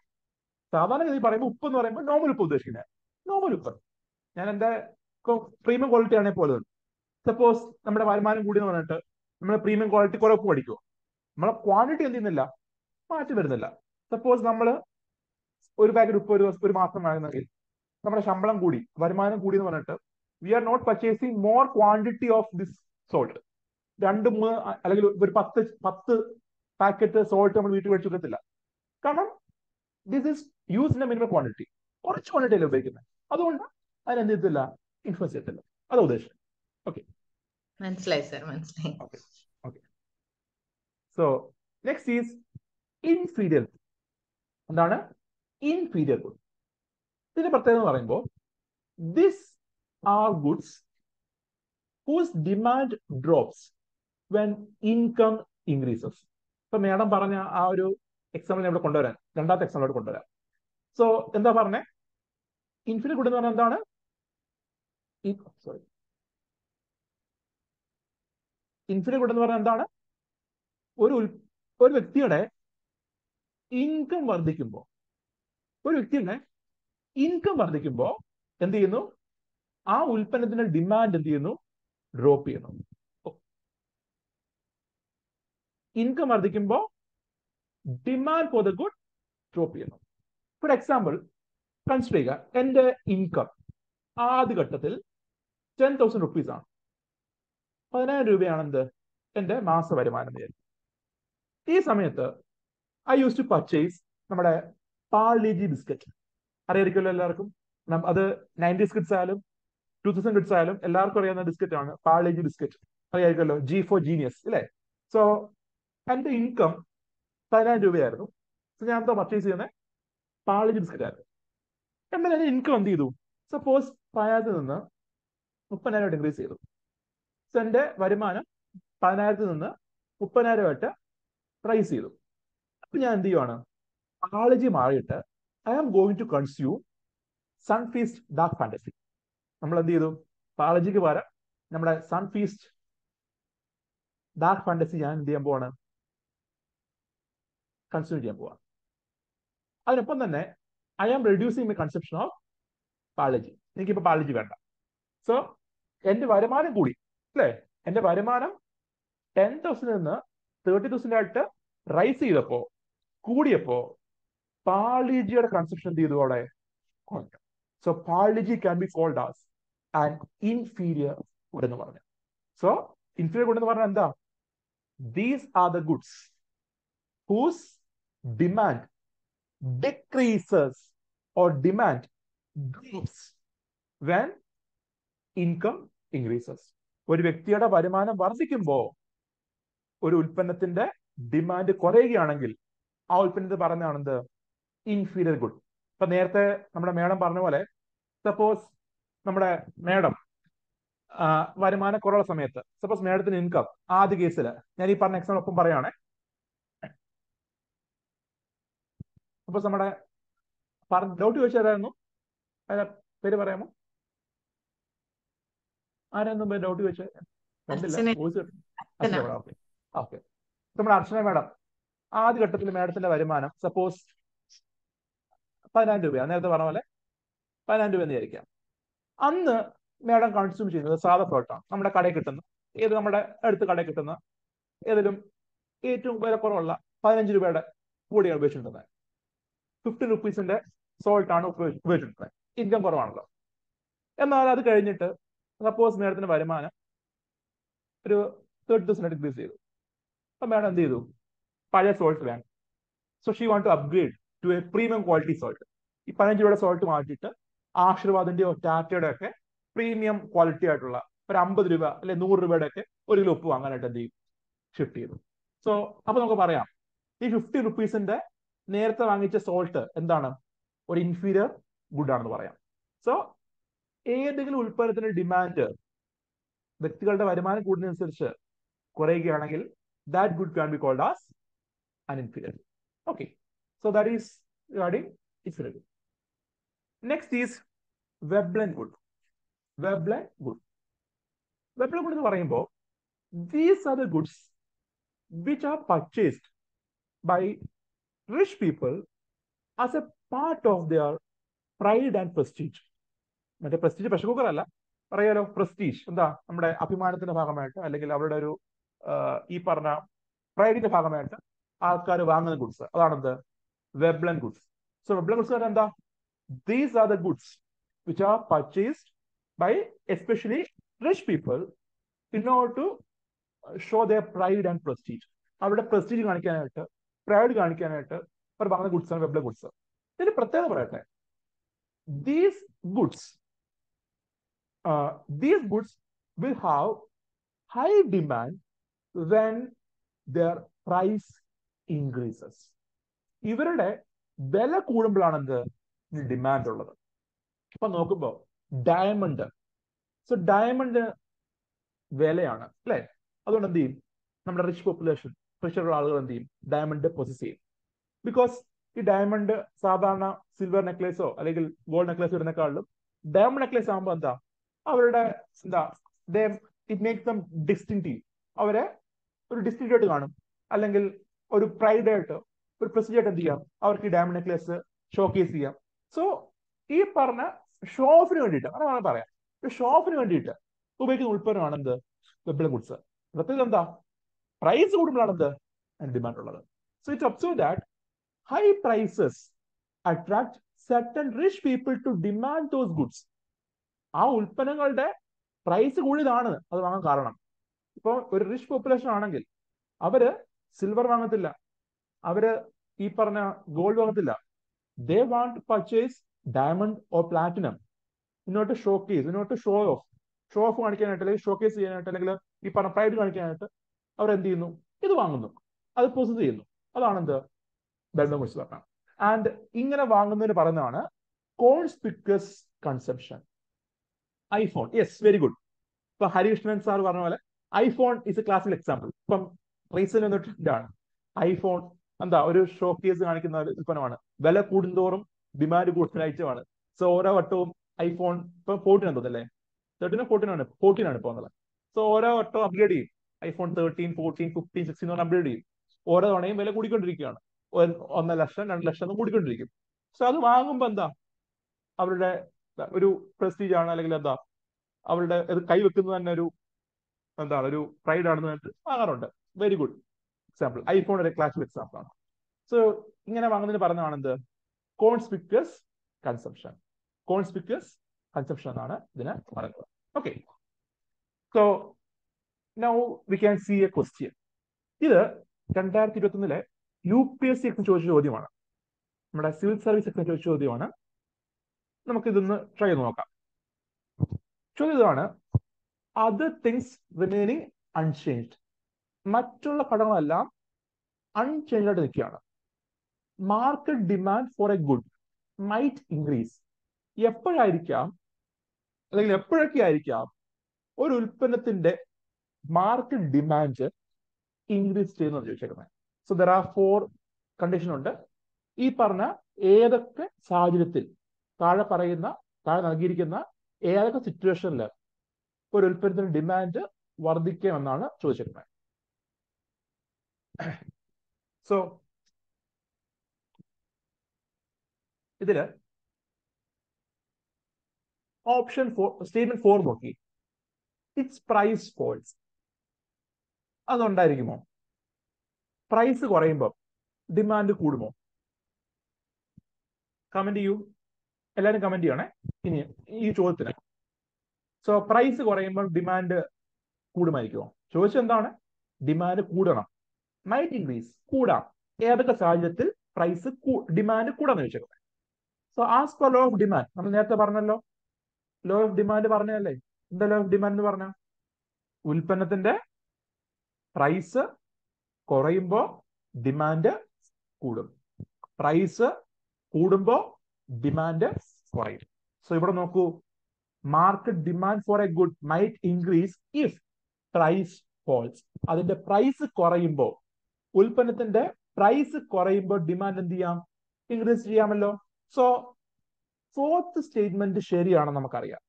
If fourth statement is correct നാലാമത്തെ സ്റ്റേറ്റ്മെന്റ് ശരിയാണെന്ന് ഉറപ്പുണ്ടെങ്കിൽ you can eliminate option A option D D എന്ന് പറഞ്ഞ ഓപ്ഷൻ എന്ത് ചെയ്യാം നിങ്ങൾക്ക് എലിമിനേറ്റ് ചെയ്യാം. കാരണം എന്താ?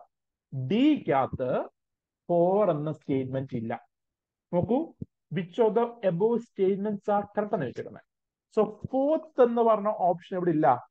ഈ പറഞ്ഞ ഡിയിലില്ല സോ നമുക്ക് എന്ത് പറയാം? ഈ പറഞ്ഞ ഡി എന്ന സ്റ്റേറ്റ്മെന്റ് ഡി എന്ന ഓപ്ഷൻ അല്ല ഉത്തരം. So we are rest with three options A B C ഉണ്ട്. സോ നമുക്ക് പണ്ട് കളിക്കുന്ന പോലെ അറ്റി സിറ്റി വാട്ടർ പിപ്പി എത്തും കൊണ്ടാ പൊക്കോ എന്ന് പറഞ്ഞ് കുത്തിയാൽ പോലും the chance of getting it correct is one third ആണ്. സോ നേരത്തെ ആണെങ്കിലോ നാല് ഓപ്ഷൻ ഉണ്ടായിരുന്നു. നേരത്തെ ആണെങ്കിൽ A B C and D ഉണ്ട്. ഈ നാല് നിങ്ങൾ കണ്ണടച്ച് കുത്തുന്ന വെച്ചോ. കണ്ണടച്ചിട്ട് ഒരു ഓപ്ഷൻ കുത്തുവാണ്. അതിൽ അത് ശരി ശരിയാൻ ചാൻസ് എത്രയാണ്? The probability of getting it correct is one four ചാൻസേ ഉള്ളൂ.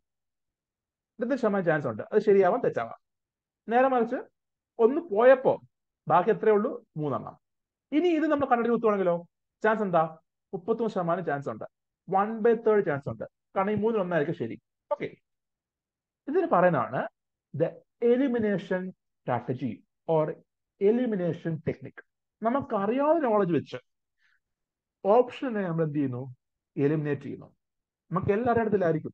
ഈ പറഞ്ഞ നാല് ഓപ്ഷനും ഈ നാല് സ്റ്റേമിനും അറിയില്ലായിരിക്കും. എന്നാൽ അറിയാവുന്നുണ്ടെങ്കിൽ അറിയാവുന്ന സ്റ്റേറ്റ്മെന്റ് ഉണ്ടെങ്കിൽ നമ്മൾ എന്ത് ചെയ്യും? ആ അറിയാവുന്ന സ്റ്റേറ്റ്മെന്റ് കൊണ്ട് ഓപ്ഷൻസിനെ നമ്മൾ റെഡ്യൂസ് ചെയ്യുന്നു. അതിന് പറയുന്നതാണ് എലിമിനേഷൻ ടെക്നിക് എന്ന് പറയുന്നത് ഓക്കെ നമ്മുടെ കെ എസ് എക്സാമിനായാലും യു പി സിക്ക് ആയാലും we can use this technique കാരണം ഇപ്പോ ഡിഗ്രി ലെവലായാലും K S എക്സാമിനായാലും the P S C's asking statement questions ആണ്. സാധാരണ ഒരു വൺ വേർഡ് ടൈപ്പ് ക്വസ്റ്റിനേക്കാളും സ്റ്റേറ്റ്മെന്റ് ക്വസ്റ്റ്യൻസ് കൂടുതൽ വരുന്നുണ്ട്. സോ നമുക്ക് എന്ത് ചെയ്യാം? ഈ ടെക്നിക്ക് അവിടെ പ്രോപ്പറായിട്ട് യൂസ് ചെയ്യാം.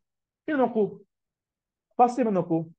Price of its substitute increases സബ്സ്റ്റിറ്റ്യൂട്ടിന്റെ price increase ചെയ്യപ്പോൾ സോ ടീ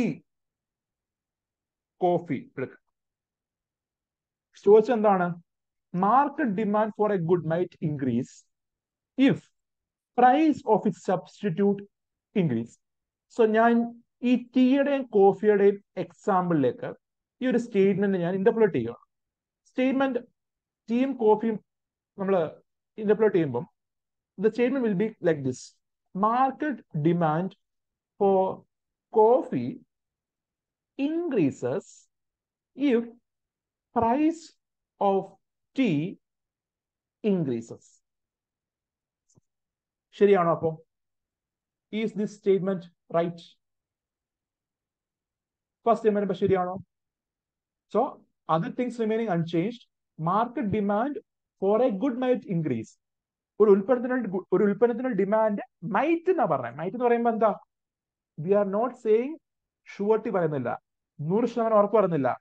മൈറ്റ് മീൻസ് ഉണ്ടാവാം. മേ മൈറ്റ് എന്നൊക്കെ പറയുമ്പോൾ എന്താ? ചാൻസ് പറയാണ്. The chance of increasing the demand എപ്പോഴാണ്? If price of it substitute increase ടീയുടെ price കൂടുമ്പോൾ കോഫിൽ ഡിമാൻഡ് എന്ത് ചെയ്യാം? സോ വൺ ഉണ്ട് നമുക്ക് പറയാം. സോ സ്റ്റേറ്റ്മെന്റ് വൺ ഉണ്ട്. സ്റ്റേറ്റ്മെന്റ് വൺ ഉണ്ട്. സ്റ്റേറ്റ്മെന്റ് ഫോർ ഉണ്ട്. സോ വണ്ണും ഫോറും ഉള്ള ഓപ്ഷൻ നോക്കുമ്പോൾ ഓപ്ഷൻ ബി ഉണ്ടോ അപ്പോ? ബിക്ക് എന്തില്ല?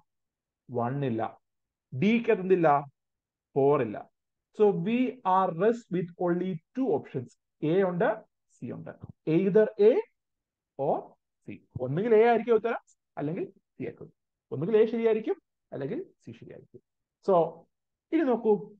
ടു എന്താ ടു പറയുന്നേ? പ്രൈസ് ആ ടു നോക്കേണ്ട ആവശ്യമുണ്ടോ? ടു നോക്കേണ്ട ആവശ്യമുണ്ടോ? കാരണം നോക്കുക നമുക്ക് ബാക്കിയുള്ള ഓപ്ഷൻ ഏതൊക്കെയാ? എ ഉണ്ട് സി ഉണ്ട്. എയിലും സിയിലും എന്തില്ല? എയിലും സിയിലും എന്തില്ല? ടു എന്ന് പറഞ്ഞ ഓപ്ഷൻ ഇല്ല. So even though we don't know that ഈ ടു എന്ന് പറഞ്ഞ സ്റ്റേറ്റ്മെന്റ് നമുക്ക് അറിയില്ലെങ്കിൽ കൂടെ തന്നെ ടു എന്താണ്? തെറ്റാണെന്നാണ് ക്വസ്റ്റ്യൻ പറയുന്നത്. കാരണം എന്താ? എയിലും സിയിലും ടു ഇല്ല. ഏതർ വൺ ആൻഡ് ഫോർ അല്ലെങ്കിൽ one three and four so two എന്ന് പറഞ്ഞ സ്റ്റേറ്റ്മെന്റ് ഇല്ല എന്ന് പറയുമ്പോൾ നമുക്ക് നോക്കിയില്ലേ പോലും? ആ സ്റ്റേറ്റ്മെന്റ് നമുക്ക് അറിയില്ലേ പോലും? ടു എന്തായിരിക്കും? തെറ്റായിരിക്കും. നമുക്ക് നോക്കാം. Price of its complement increase നമ്മൾ നേരത്തെ പറഞ്ഞ എക്സാമ്പിൾ ഓർമ്മയുണ്ടല്ലോ ബ്രെഡ് ജാം ബ്രെഡും ജാമും എന്താ? കോംപ്ലിമെന്റ് ഗുഡ്സ് ആണ്. സോ ഞാൻ പറയാണ് market demand for jam market demand for jam might increase if price of bread increases ബ്രെഡിന്റെ price increase ചെയ്യുമ്പോൾ ജാമിന്റെ ഡിമാൻഡ് ഇൻക്രീസ് ചെയ്യും. ശരിയാണോ? ബ്രെഡിന്റെ പ്രൈസ് ഇൻക്രീസ് ചെയ്യുമ്പോൾ ബ്രെഡിന്റെ പ്രൈസ് കൂടി. ജാമിന്റെ പ്രൈസ് കൂടുമോ? ഡിമാൻഡ് കൂടുമോ? ഇല്ല. കാരണം ഞാൻ പറഞ്ഞു ബ്രെഡും ജാമും കോംപ്ലിമെന്ററി ടു ഈച്ച് അതർ ആണ്. രണ്ടും ഒരേപോലെ കൺസ്യൂം ചെയ്യുന്ന ഉൽപ്പന്നമാണ്. സോ ബ്രെഡിന്റെ പ്രൈസ് കൂടി. അതിന് ഡിമാൻഡ് കുറഞ്ഞു. ജാമിന്റെ ഡിമാൻഡ് എന്ത് ചെയ്യും? കുറയും. ടു എന്താ? തെറ്റ്. ഇനി ത്രീ നോക്കൂ. ത്രീ എന്താ പറയുന്നേ? The price the good is an inferior good and income of the consumer increases so നമ്മുടെ ഈ ഗുഡ് എന്ന് പറഞ്ഞാൽ എന്താ? ഈ ഗുഡ് എന്ന് പറഞ്ഞാൽ മാർക്കറ്റ് ഡിമാൻഡ് ഫോർ ഗുഡ് എന്ന് പറഞ്ഞു കഴിഞ്ഞാൽ ഈ ഗുഡ് എന്താണ്? ഒരു ഇൻഫീരിയർ ഗുഡ് എന്നാ പറയുന്നത് ഈ ഗുഡ് എന്താ? ഒരു ഇൻഫീരിയർ ഗുഡ് ആണ്. സോ ഇൻഫീരിയർ ഗുഡ് ആണെങ്കിൽ ആൾക്കാരുടെ ഇൻകം വർദ്ധിക്കുമ്പോൾ നേരത്തെ പറഞ്ഞ എക്സാം പറഞ്ഞിട്ടുണ്ടോ പാർലിജി ബിസ്ക്കറ്റ് സൺഫീസ്റ്റ് അല്ലെങ്കിൽ salt premium quality salt so എന്താ പറഞ്ഞേ? ഇൻഫീരിയർ ഗുഡ് ആണെങ്കിൽ ആൾക്കാരുടെ ഇൻകം വർദ്ധിക്കുമ്പോ അതിന് ഡിമാൻഡ് കൂടുമോ? ഇല്ല. എന്താ ചെയ്യുന്ന ഡിമാൻഡ് കുറയും. സോ ഇവിടെ ചോദിച്ചെന്താ കൂടുമോ ഇല്ലയോ എന്ന് അറിയണ്ടേ? ചോദിച്ചത് market demand for good might increase increase ആണോ അപ്പം? അല്ല. ഇൻഫീരിയർ ഗുഡ് ആണെങ്കിൽ ഇൻകം കൂടുമ്പോ വരുമാനം കൂടുമ്പോ വരുമാനം കൂടുമ്പോ ഡിമാൻഡ് എന്താണ്? കുറയുകയാണ് ചെയ്യുന്നത്. സോ വണ്ണ് ശരിയാണ്. ടു തെറ്റാണ്. ത്രീ തെറ്റാണ്. ഫോർ ശരിയാണ്. So the answer will be one and four A ആണ് റൈറ്റ് ആൻസർ ഓക്കെ സോ നമ്മൾ എലിമിനേഷൻ വഴി നമ്മൾ ഓപ്ഷനിൽ എലിമിനേറ്റ് ചെയ്തിരുന്നു. ഇപ്പൊ ടു എന്ന് പറഞ്ഞ സ്റ്റേറ്റ്മെന്റ് അറിയില്ല കൂടെ തന്നെ എന്താ? ടു തെറ്റാണെന്ന് നമ്മൾ മനസ്സിലാക്കി.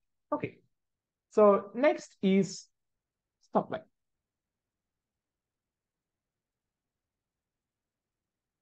ഉണ്ട്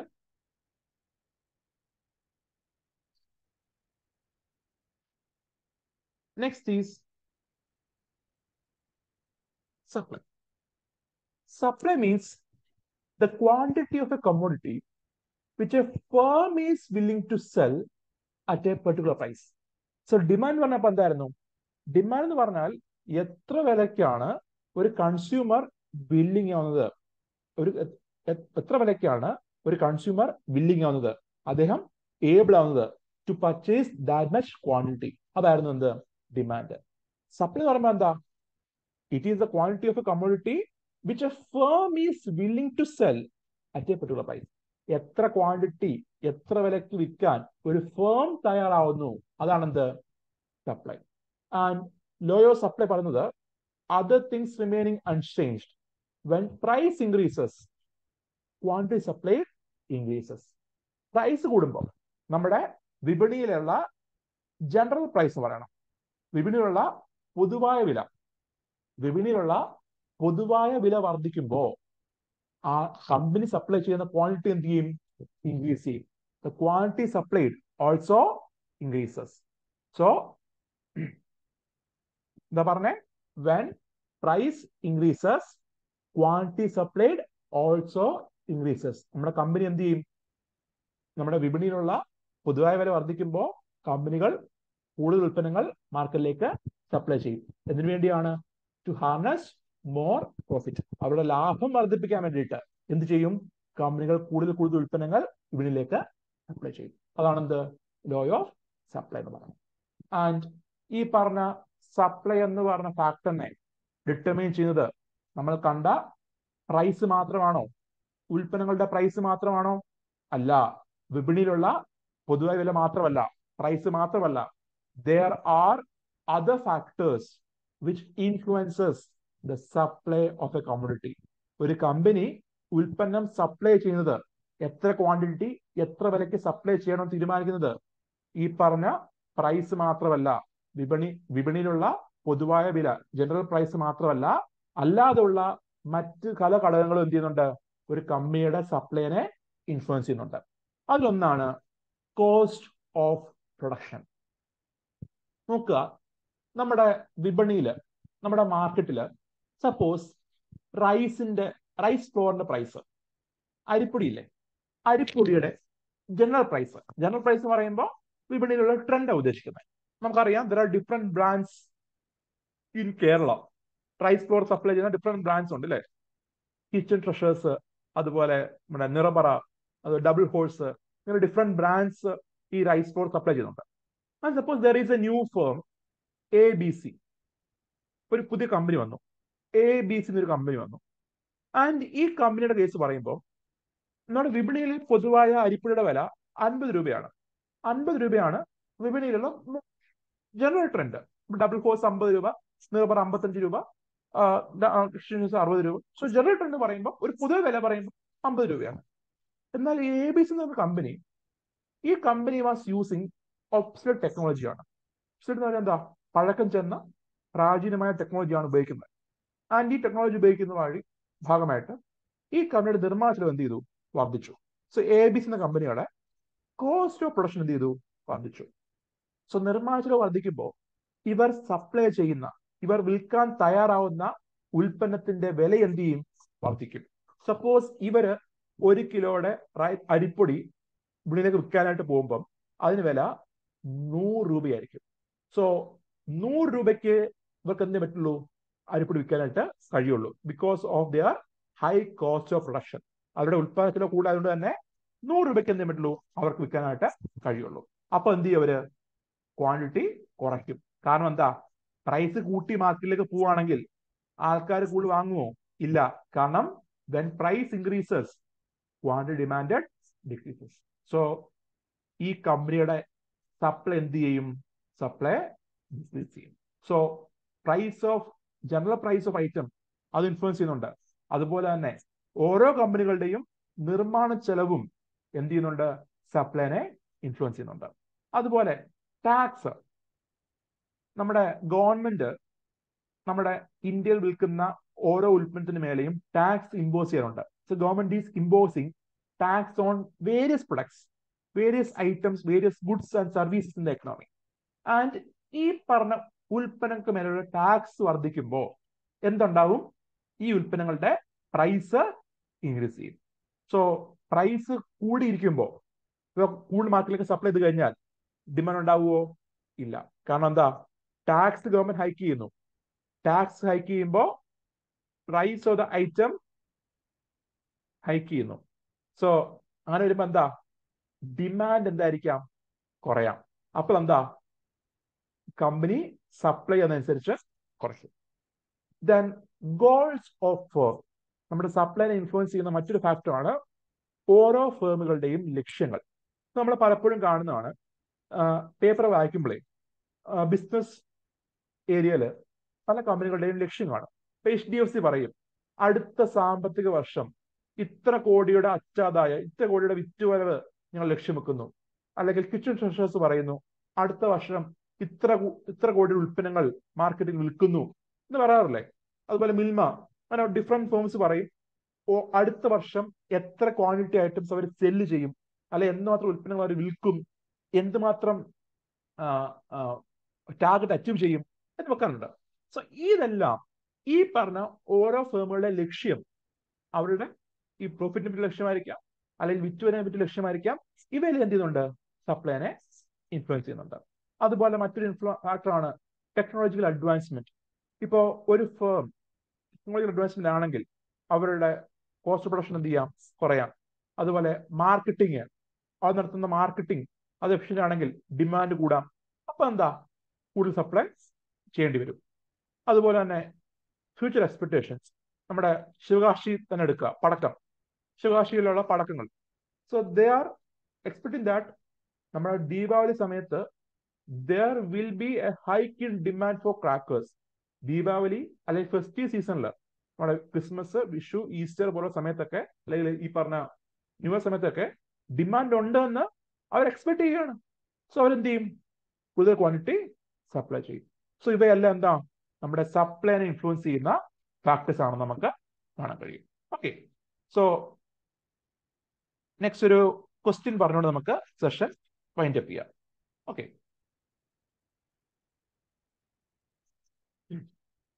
a rise in general level of prices may be caused by നമ്മുടെ വിപണിയിലുള്ള ഉൽപ്പന്നങ്ങളുടെ പ്രൈസ് എങ്ങനെയൊക്കെ വർദ്ധിക്കാം? എന്നാ ചോദിക്കുന്നത് a rise in general level of prices of goods നമ്മുടെ ഇന്ത്യ നമ്മുടെ എക്കണോമിയിലെ സമ്പദ് വ്യവസ്ഥയിലെ ഉൽപ്പന്നങ്ങളുടെ പൊതുവായ വില എപ്പോഴൊക്കെ റൈസ് ചെയ്യാം എപ്പോഴൊക്കെ ഇൻക്രീസ് ചെയ്യാം എന്നാണ് ചോദ്യം ആൻഡ് ആർ ഡിഫറെന്റ് ഫാക്ടേഴ്സ് പറയുന്നുണ്ട്. ഒന്ന് increase in money supply second a decrease in aggregate level of output third an increase in effective demand so ഇത് പറഞ്ഞ മുന്നേ ആയിട്ട് ഞാൻ ഒരു എക്സാമ്പിൾ പറയുകയാണെ ശ്രദ്ധിച്ചിരിക്കാം ഇൻ ദിസ് എക്സാമ്പിൾ നമ്മുടെ ക്ലാസ്സിലുള്ള സപ്പോസ് പതിനഞ്ച് പേര് നമ്മുടെ ക്ലാസ്സിലുള്ള പതിനഞ്ച് പേരുടെ we are going to Delhi Delhi പോവാം. എന്ന് വിചാരിച്ചു. സോ ഫിഫ്റ്റീൻ കാൻഡിഡേറ്റ്സ് ഉണ്ട്. നമ്മുടെ ഫിഫ്റ്റീൻ കാൻഡിഡേറ്റ്സ് കെ എസ് കിട്ടി. അത് കഴിഞ്ഞിട്ട് സപ്പോസ് എന്തെങ്കിലും ഒരു ഭാരതദർശൻ ഇപ്പൊ കേരളദർശനേ ഉള്ളൂ ഭാരതദർശന്റെ ഭാഗമായിട്ടോ അല്ലെങ്കിൽ വേറെ എന്തെങ്കിലും ഭാഗമായിട്ട് fifteen candidates are going to Delhi Delhi പോവാണ്. അത് നിങ്ങൾ എല്ലാവരും കൂടെ ട്രിവാൻഡ്രം എയർപോർട്ടിൽ നിന്ന് ഡൽഹിയിലേക്ക് പോകാനായിട്ട് റെഡിയായി ട്രിവാൻഡ്രത്ത് നിന്ന് ഡൽഹിയിലേക്ക് പോകാൻ ടിക്കറ്റ് എടുത്തു.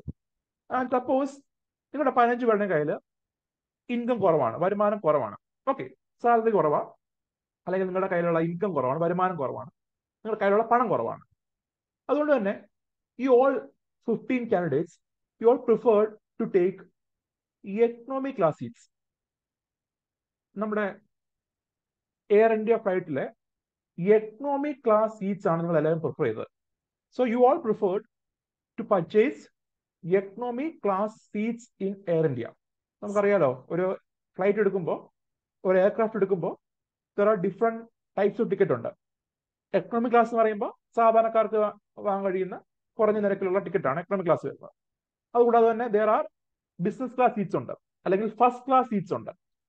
First class seats or business class seats പറയുകയാണെങ്കിൽ compare to economic class business class യാത്ര ചെയ്യുകയാണെങ്കിൽ കിട്ടുന്ന കിട്ടുന്ന എന്താണ് ട്രീറ്റ്മെന്റ് വ്യത്യാസമാണ്. ലെഗ് സ്പേസ് കൂടുതലാണ്. ഫുഡ് വ്യത്യാസമാണ്. അതുപോലെ കിട്ടുന്ന ഈ റിഫ്രഷ്മെന്റ് ബെനിഫിറ്റ് എല്ലാം കൂടുതലാണ്. സോ നോക്കുമ്പോൾ നിങ്ങൾക്ക് നല്ല ആഗ്രഹമുണ്ട് അങ്ങോട്ട് പോകണമെന്ന് പക്ഷെ എന്താ? നിങ്ങളതിൽ പൈസ ഇല്ല നിങ്ങൾ എല്ലാവരും അതുകൊണ്ട് എക്കണോമിക് ക്ലാസ് സീറ്റുകൾ എടുത്ത്. അത് നിങ്ങളെ വെയിറ്റ് ചെയ്തിരിക്കുകയാണ് ട്രിവാൻഡ്രത്ത് ഇതൊരു സ്റ്റോറിയാണ് റിയൽ സംഭവമൊന്നുമല്ല. അതുകൊണ്ട് ജീവിച്ചിരിക്കുന്നവരോ മനുഷ്യരമായിട്ട് യാതൊരു സാമ്യവും തോന്നുവാണെങ്കിൽ അത് യാദൃശ്ചികമാണ് ഓക്കെ നിങ്ങൾ അങ്ങനെ എയർപോർട്ടിൽ ഇങ്ങനെ ഇരിക്കുന്ന സമയത്ത് ടി വിയിൽ ഒരു വാർത്ത കാണാം. നമ്മുടെ ടി വിയിൽ ഒരാൾ വന്നു. അവർ പറയാണ് വേറെ വേറെ ദേശവാസിയോ എന്ന് പറഞ്ഞിട്ട് അയാൾ വന്നു. എന്നിട്ട് അയാൾ പറയാണ് നമ്മുടെ കോവിഡ് വന്ന ഓക്കെ കോവിഡ് വന്ന എല്ലാവരുടെ അക്കൗണ്ടിലേക്ക് അഞ്ച് ലക്ഷം രൂപ വരാൻ പോകുന്നു. ഓക്കെ നിങ്ങൾ എയർപോർട്ടിൽ ഇരിക്കുമ്പോൾ കാണുന്ന വാർത്തയാണ് കോവിഡ് വന്ന എല്ലാവർക്കും അഞ്ച് ലക്ഷം രൂപ അക്കൗണ്ടിൽ വരുന്നു. ആ സപ്പോസ് നിങ്ങൾ എല്ലാവർക്കും കോവിഡ് വന്ന വിചാരിക്കുക. സപ്പോസ് ഈ പറഞ്ഞ ഫിഫ്റ്റീൻ കാൻഡിഡേറ്റ്സിനും കോവിഡ് വന്നതാണ്. സോ നിങ്ങൾ നോക്കുമ്പോൾ എന്താ? ഈ അനൗൺസ്മെന്റ് കഴിഞ്ഞ ഉടനെ തന്നെ നിങ്ങളുടെ അക്കൗണ്ടിലേക്ക് എന്ത് വന്നു? അഞ്ച് ലക്ഷം രൂപ വന്നു. ഹാപ്പി ആയല്ലോ എല്ലാവരും ഹാപ്പി ആയല്ലോ. സോ ആദ്യ ഘട്ടത്തിൽ എന്താ കുഴപ്പം? നിങ്ങളുടെ ആളുടെ കയ്യിൽ പൈസ ഇല്ല. So you all prefer to purchase economic class ആ സമയത്താണ് നമ്മുടെ മേര പേര ദേശവാസ്യം വന്നിട്ട് എല്ലാവരും അക്കൗണ്ടിൽ ലക്ഷം തന്നത്. ഹാപ്പി ആയി. ആൻഡ് നിങ്ങൾ എല്ലാവരും എന്ത് ചെയ്തു? You all go to Air India to upgrade your seat നിങ്ങളുടെ എക്കണോമിക് ക്ലാസ് സീറ്റ് മാറ്റിയിട്ട് ഞങ്ങൾക്ക് എല്ലാവർക്കും എന്ത് വേണം? ബിസിനസ് ക്ലാസ് സീറ്റ് വേണമെന്ന് ഡിമാൻഡ് ചെയ്തു. നോക്കുമ്പോൾ എയർ ഇന്ത്യ ഫ്ലൈറ്റിൽ സീറ്റ് ഇല്ല. ഫസ്റ്റ് ക്ലാസ് സീറ്റ് ഇല്ല. Suppose there are only three seats മാത്രമേ ഉള്ളൂ. ആകെപ്പാടെ മൂന്ന് സീറ്റേ ഉള്ളൂ. അവർ പറഞ്ഞു ഫിഫ്റ്റീൻ സീറ്റ് ഒന്നും ഇല്ല. നമുക്ക് മൂന്ന് സീറ്റ് ഉണ്ട്. ഫസ്റ്റ് ക്ലാസ് സീറ്റ് മൂന്നെണ്ണേ ഉള്ളൂ. നോക്കുമ്പോൾ എന്താ? നിങ്ങളുടെ എല്ലാവരുടെയും പൈസ ഉണ്ട് എല്ലാവരുടെ അക്കൗണ്ടിൽ ഇപ്പൊ അഞ്ച് ലക്ഷം രൂപ കടക്കുവാണ്. നിങ്ങൾ പറഞ്ഞു കുഴപ്പമില്ല. എത്ര കൊണ്ട് തരാം. അത് അഞ്ച് ലക്ഷം കിടക്കുമല്ലേ സപ്പോസ് ഒരു സീറ്റിന്റെ വില ആദ്യ ഘട്ടത്തിൽ അമ്പതിനായിരം രൂപയാണ്. ആദ്യ ഒരു സീറ്റിന് വില അമ്പതിനായിരം രൂപയാണ്. ആ സമയത്താണ് നിങ്ങൾ എല്ലാവരുടെ അക്കൗണ്ടിൽ പൈസ വന്നു. നിങ്ങൾ പറഞ്ഞു സീറ്റ് താ സീറ്റ് താ പതിനഞ്ച് പേരും മൂന്ന് സീറ്റിന് വേണ്ടി ഡിമാൻഡ് ചെയ്യുന്നു. I can see the demand in the economy എന്ന് പറഞ്ഞാൽ ഫിഫ്റ്റീൻ സീറ്റ്സ് ആണ്. പതിനഞ്ച് സീറ്റ്സ് ആണ് എന്ത്? നിങ്ങൾ ഡിമാൻഡ് ചെയ്യുന്നത്. എന്നാൽ മാർക്കറ്റിലുണ്ടായ സപ്ലൈ എത്രയാണ്? മൂന്നെണ്ണം മാത്രമാണ്. സോ ഫിഫ്റ്റീൻ സീറ്റ്സ് ഡിമാൻഡ് ചെയ്യുന്നു. മൂന്നെണ്ണം മാത്രം സപ്ലൈ ചെയ്യുന്നു there is demand supply mismatch ഡിമാൻഡും സപ്ലൈയും തമ്മിൽ എന്താ? ഒരു മിസ്മാച്ച് അവിടെ ഉണ്ടായി. സോ ഡിമാൻഡ് സപ്ലൈ മിസ്മാച്ച് ഉണ്ടാവുമ്പോൾ എന്തുണ്ടാവും അവിടെ? നമ്മുടെ company Air India company they will slowly starts to rise the ticket price കാരണം എന്താ? മൂന്ന് സീറ്റ് ഉണ്ട്. പതിനഞ്ച് പേരും ഡിമാൻഡ് സീറ്റ് സീറ്റ് എന്ന് പറഞ്ഞിട്ട്. അപ്പൊ കമ്പനി പറയും ഓക്കെ ആരാണോ കൂടുതൽ പൈസ തരുന്നത്? അവർക്ക് എന്താ സീറ്റ് തരാം അവരെന്ത് ചെയ്യും പെയ്യെ പെയ്യെ ഈ സീറ്റ് പ്രൈസ് കൂട്ടി. അമ്പതിനായിരം എന്നുള്ളത് ഒരു ലക്ഷമായി. പിന്നെ ഒന്നര ലക്ഷമായി. രണ്ട് ലക്ഷമായി. So we can see when ആൾക്കാരുടെ കയ്യിലെല്ലാം പൈസ വന്നപ്പോ വിപണിയിൽ സപ്ലൈ ഡിമാൻഡ് അനുസരിച്ചില്ലെങ്കിൽ എന്തുണ്ടായി അവിടെ? സീറ്റിന്റെ പ്രൈസ് ഇൻക്രീസ് ചെയ്തു. അമ്പതിനായിരം എന്നുള്ളത് വൺ പോയിന്റ് ഫൈവ് ലാക്ക് ആയിട്ട് ഇൻക്രീസ് ചെയ്തു. സോ വി ക്യാൻ സി എന്താണ് അല്ല എന്ത് ഫാക്ടറാണ് ഇവിടെ പ്രൈസ് ഹൈക്ക് ഉണ്ടാക്കിയത് നോക്കിക്കഴിഞ്ഞാൽ? ഏത് ഫാക്ടറാണ് the main factor which cause the price hike of the seat is the increased money supply ആണ്. ആൾക്കാരുടെ കയ്യിലേക്ക് വന്ന ആൾക്കാരുടെ കയ്യിലേക്ക് ഒഴുകിയ പണലഭ്യതയാണെന്ത് ഇവിടെ ഈ പറഞ്ഞ പ്രൈസ് ഹൈക്ക് ഉണ്ടായത്. സോ ഈ ഒരു സ്റ്റോറി വെച്ചിട്ട് can you say the answer നിങ്ങൾക്ക് ആൻസർ പറയാമോ അതിന്റെ ഏതൊക്കെ ഫാക്ടർ ഉൽപ്പന്നങ്ങളുടെ പ്രൈസിനെ ഹൈക്ക് ചെയ്യാം? അല്ലെങ്കിൽ ഏതൊക്കെ ഫാക്ടർ പ്രൈസ് ഒക്കെ ക്രിയേറ്റ് ചെയ്യാന്ന് പറയാമോ? ഫസ്റ്റ് ഫാക്ടർ ഉണ്ടല്ലോ എന്തായാലും. ഇപ്പൊ ഞാൻ പറഞ്ഞു നിർത്തിയതേ ഉള്ളൂ. മണി സപ്ലൈ കൂടിയപ്പോ ആൾക്കാരുടെ കയ്യിലുള്ള പർച്ചേസിംഗ് പവർ കൂടി. സാധനം അങ്ങനെ ശേഷി വർദ്ധിച്ചു. എല്ലാവരുടെ കയ്യിലും പണ ലഭ്യത ഉണ്ടായി. So they can purchase more and more goods so പണ ലഭ്യത കൂടിയപ്പോ പ്രൈസ് കൂടിയില്ലേ? ടിക്കറ്റ് പ്രൈസ് കൂടിയില്ലേ? സോ വി ക്യാൻ സി എന്തുണ്ടായി? മണി സപ്ലൈ കൂടിയത് പ്രൈസ് ഒക്കെ ഉണ്ടാവാം പിന്നെ a decrease in aggregate level of output നമ്മൾ കണ്ടു ഫിഫ്റ്റീൻ സീറ്റ്സ് ഡിമാൻഡ് ചെയ്യുന്നു. പതിനഞ്ച് സീറ്റ് വാങ്ങാൻ ബില്ലിംഗ് ആണ്. പറഞ്ഞ വിലക്ക് വാങ്ങാൻ ബില്ലിംഗ് ആണ്. പക്ഷെ എന്താ? മൂന്ന് സീറ്റ്സേ അവൈലബിൾ ഉള്ളൂ. ഔട്ട്പുട്ട് എന്താണ്? കുറവാണ്. അല്ലെങ്കിൽ സപ്ലൈ എന്ന ഫാക്ടർ എന്താണ്? കുറഞ്ഞിരിക്കുന്ന അവസ്ഥ. സോ സപ്ലൈ ഫാക്ടർ എന്താ? കേൾക്കുന്നില്ലേ സൗണ്ട് ഇല്ല. ഹലോ ഒടുപിളല്ലേ ഞാൻ ഒടുപിളല്ലേ ആണല്ലോ. ഓക്കെ ഓക്കെ മാഡം നോക്കൂ ചെക്ക് ചെയ്തു മാഡം അഞ്ചരമ്മ ചെക്ക് ചെയ്തേക്കൂ. അങ്ങനെ സൗണ്ട് ഇല്ലെന്ന് പറഞ്ഞു. ഓക്കെ അപ്പം സപ്ലൈ എന്ന ഫാക്ടറാണ് അഗ്രിഗേറ്റ് ലെവൽ ഓഫ് ഔട്ട്പുട്ട് എന്ന് വെച്ചാൽ എന്താ? ഒരു കമ്പനി അല്ലെങ്കിൽ ഒരു മാർക്കറ്റിലേക്ക് സപ്ലൈ ചെയ്യപ്പെടുന്ന ഉൽപ്പന്നങ്ങളാണ് ഉദ്ദേശിക്കുന്നത് aggregate level of output output വെച്ചാൽ എന്താ? ഒരു ഫേമിന്റെ ഫൈനൽ പ്രൊഡക്റ്റ് ആണ്. സോ ഇവിടെ നോക്കുവാണെങ്കിൽ സർവീസ് ഫേം ആണ്. സോ ഇവിടെ ഔട്ട്പുട്ട് എന്താ? നമ്മുടെ സീറ്റ് ആണ് ഒക്കുപ്പൻസി ആണ്. And we can see supply എന്താ ഇവിടെ? ഡിക്രീസ് ചെയ്തു. സപ്ലൈ കുറഞ്ഞു. സോ സപ്ലൈ കുറഞ്ഞതും പ്രൈസ് കൂടെ എന്താ? ഒരു കാരണമല്ലേ? ഉദാഹരണം പറയുമ്പോൾ ജൂൺ ജൂലൈ മാസത്തിൽ ടൊമാറ്റോയുടെ വില കൂടി നമ്മൾ ഇന്നലെ പറഞ്ഞില്ലേ? തക്കാളിയുടെ വില കൂടി എന്ന് പറഞ്ഞു. തക്കാളി വില കൂടാൻ പ്രധാനപ്പെട്ട കാരണം എന്തായിരുന്നു? തമിഴ്നാട് ആന്ധ്ര പോലുള്ള പ്രദേശത്ത് പ്രധാനമായിട്ട് പ്രത്യേകിച്ച് ആന്ധ്രാപ്രദേശിൽ ഈ പറഞ്ഞ തക്കാളിയുടെ പ്രൊഡക്ഷൻ ഗണ്യമായി കുറഞ്ഞു. സോ നമ്മുടെ ഇന്ത്യയിൽ തക്കാളിയുടെ കൃഷി നോക്കുമ്പോൾ പ്രധാനപ്പെട്ട കൃഷി ചെയ്യുന്ന ഏരിയാസ് മഹാരാഷ്ട്ര ഉണ്ട് ആന്ധ്രാപ്രദേശ് ഉണ്ട് കർണാടക തമിഴ്നാട്. സൗത്ത് ഇന്ത്യയാണ് പ്രധാനമായിട്ടും തക്കാളി കൃഷി ചെയ്യുന്നത്. സോ ഈ പറഞ്ഞ സൗത്ത് ഇന്ത്യയിലെ തക്കാളിയുടെ ഔട്ട്പുട്ട് കുറഞ്ഞു. അല്ലെങ്കിൽ തൽക്കാലയുടെ പ്രൊഡക്ഷൻ കുറഞ്ഞതാണ് എന്ത്? വില കൂടാൻ പ്രധാനമായിട്ടും കാരണമായത്. അതാണ് അഗ്രിഗേറ്റ് ലെവൽ ഓഫ് ഔട്ട്പുട്ട് എന്ന് ഉദ്ദേശിക്കുന്നത്. അതുപോലെ ആ ഇൻക്രീസ് ഇൻ അഫക്റ്റീവ് ഡിമാൻഡ് മൊത്തത്തിലുള്ള ഡിമാൻഡ് വർദ്ധിക്കുന്ന കാരണമല്ലേ? ഇപ്പൊ നോക്കൂ മൂന്ന് സീറ്റ് ഉണ്ട്. ഫിഫ്റ്റീൻ സീറ്റ്സ് ഡിമാൻഡ് ചെയ്തപ്പോഴാണ് എന്ത്? വില കൂടിയത്. നേരത്തെ എത്ര ആയിരുന്നു അമ്പതിനായിരം വരെ ഉള്ളൂ. വില കൂടിയോ? ഇല്ല. അവിടെ ഡിമാൻഡ് ഇല്ലായിരുന്നു. എന്നാൽ when your account get credited നിങ്ങളുടെ അക്കൗണ്ടിലേക്ക് അഞ്ച് ലക്ഷം വെച്ച് ക്രെഡിറ്റ് ചെയ്യപ്പെട്ടപ്പോ നിങ്ങളുടെ കയ്യിലുള്ള പർച്ചേസിംഗ് പവർ കൂടി ഡിമാൻഡ് കൂടി. ഡിമാൻഡ് കൂടിയപ്പോൾ എന്തുണ്ടായി ഈ പറഞ്ഞ പ്രൈസ് ഹൈക്കും ഉണ്ടായി. നോക്കുവാണെങ്കിൽ all these three factors are responsible for causing price hike of goods so answer എന്താ? വൺ ടു ആൻഡ് ത്രീ ആ ഒരു ഒറ്റ സ്റ്റോറി ഓർത്തിരുന്നാൽ മതി. ആ ഒറ്റ സ്റ്റോറി ഓർത്തിരുന്നു കഴിഞ്ഞാൽ you can practise question okay hereby we can conclude today's session. And നമ്മുടെ നാളത്തെ നാളത്തെ ക്ലാസ് രാവിലെ ആറ് മണിക്കാണ്. എല്ലാവരും റെഡി ആവണം. Okay tomorrow session will be at six A M to eight A M ആറ് മണി തൊട്ട് എട്ട് മണി വരെയാണ്.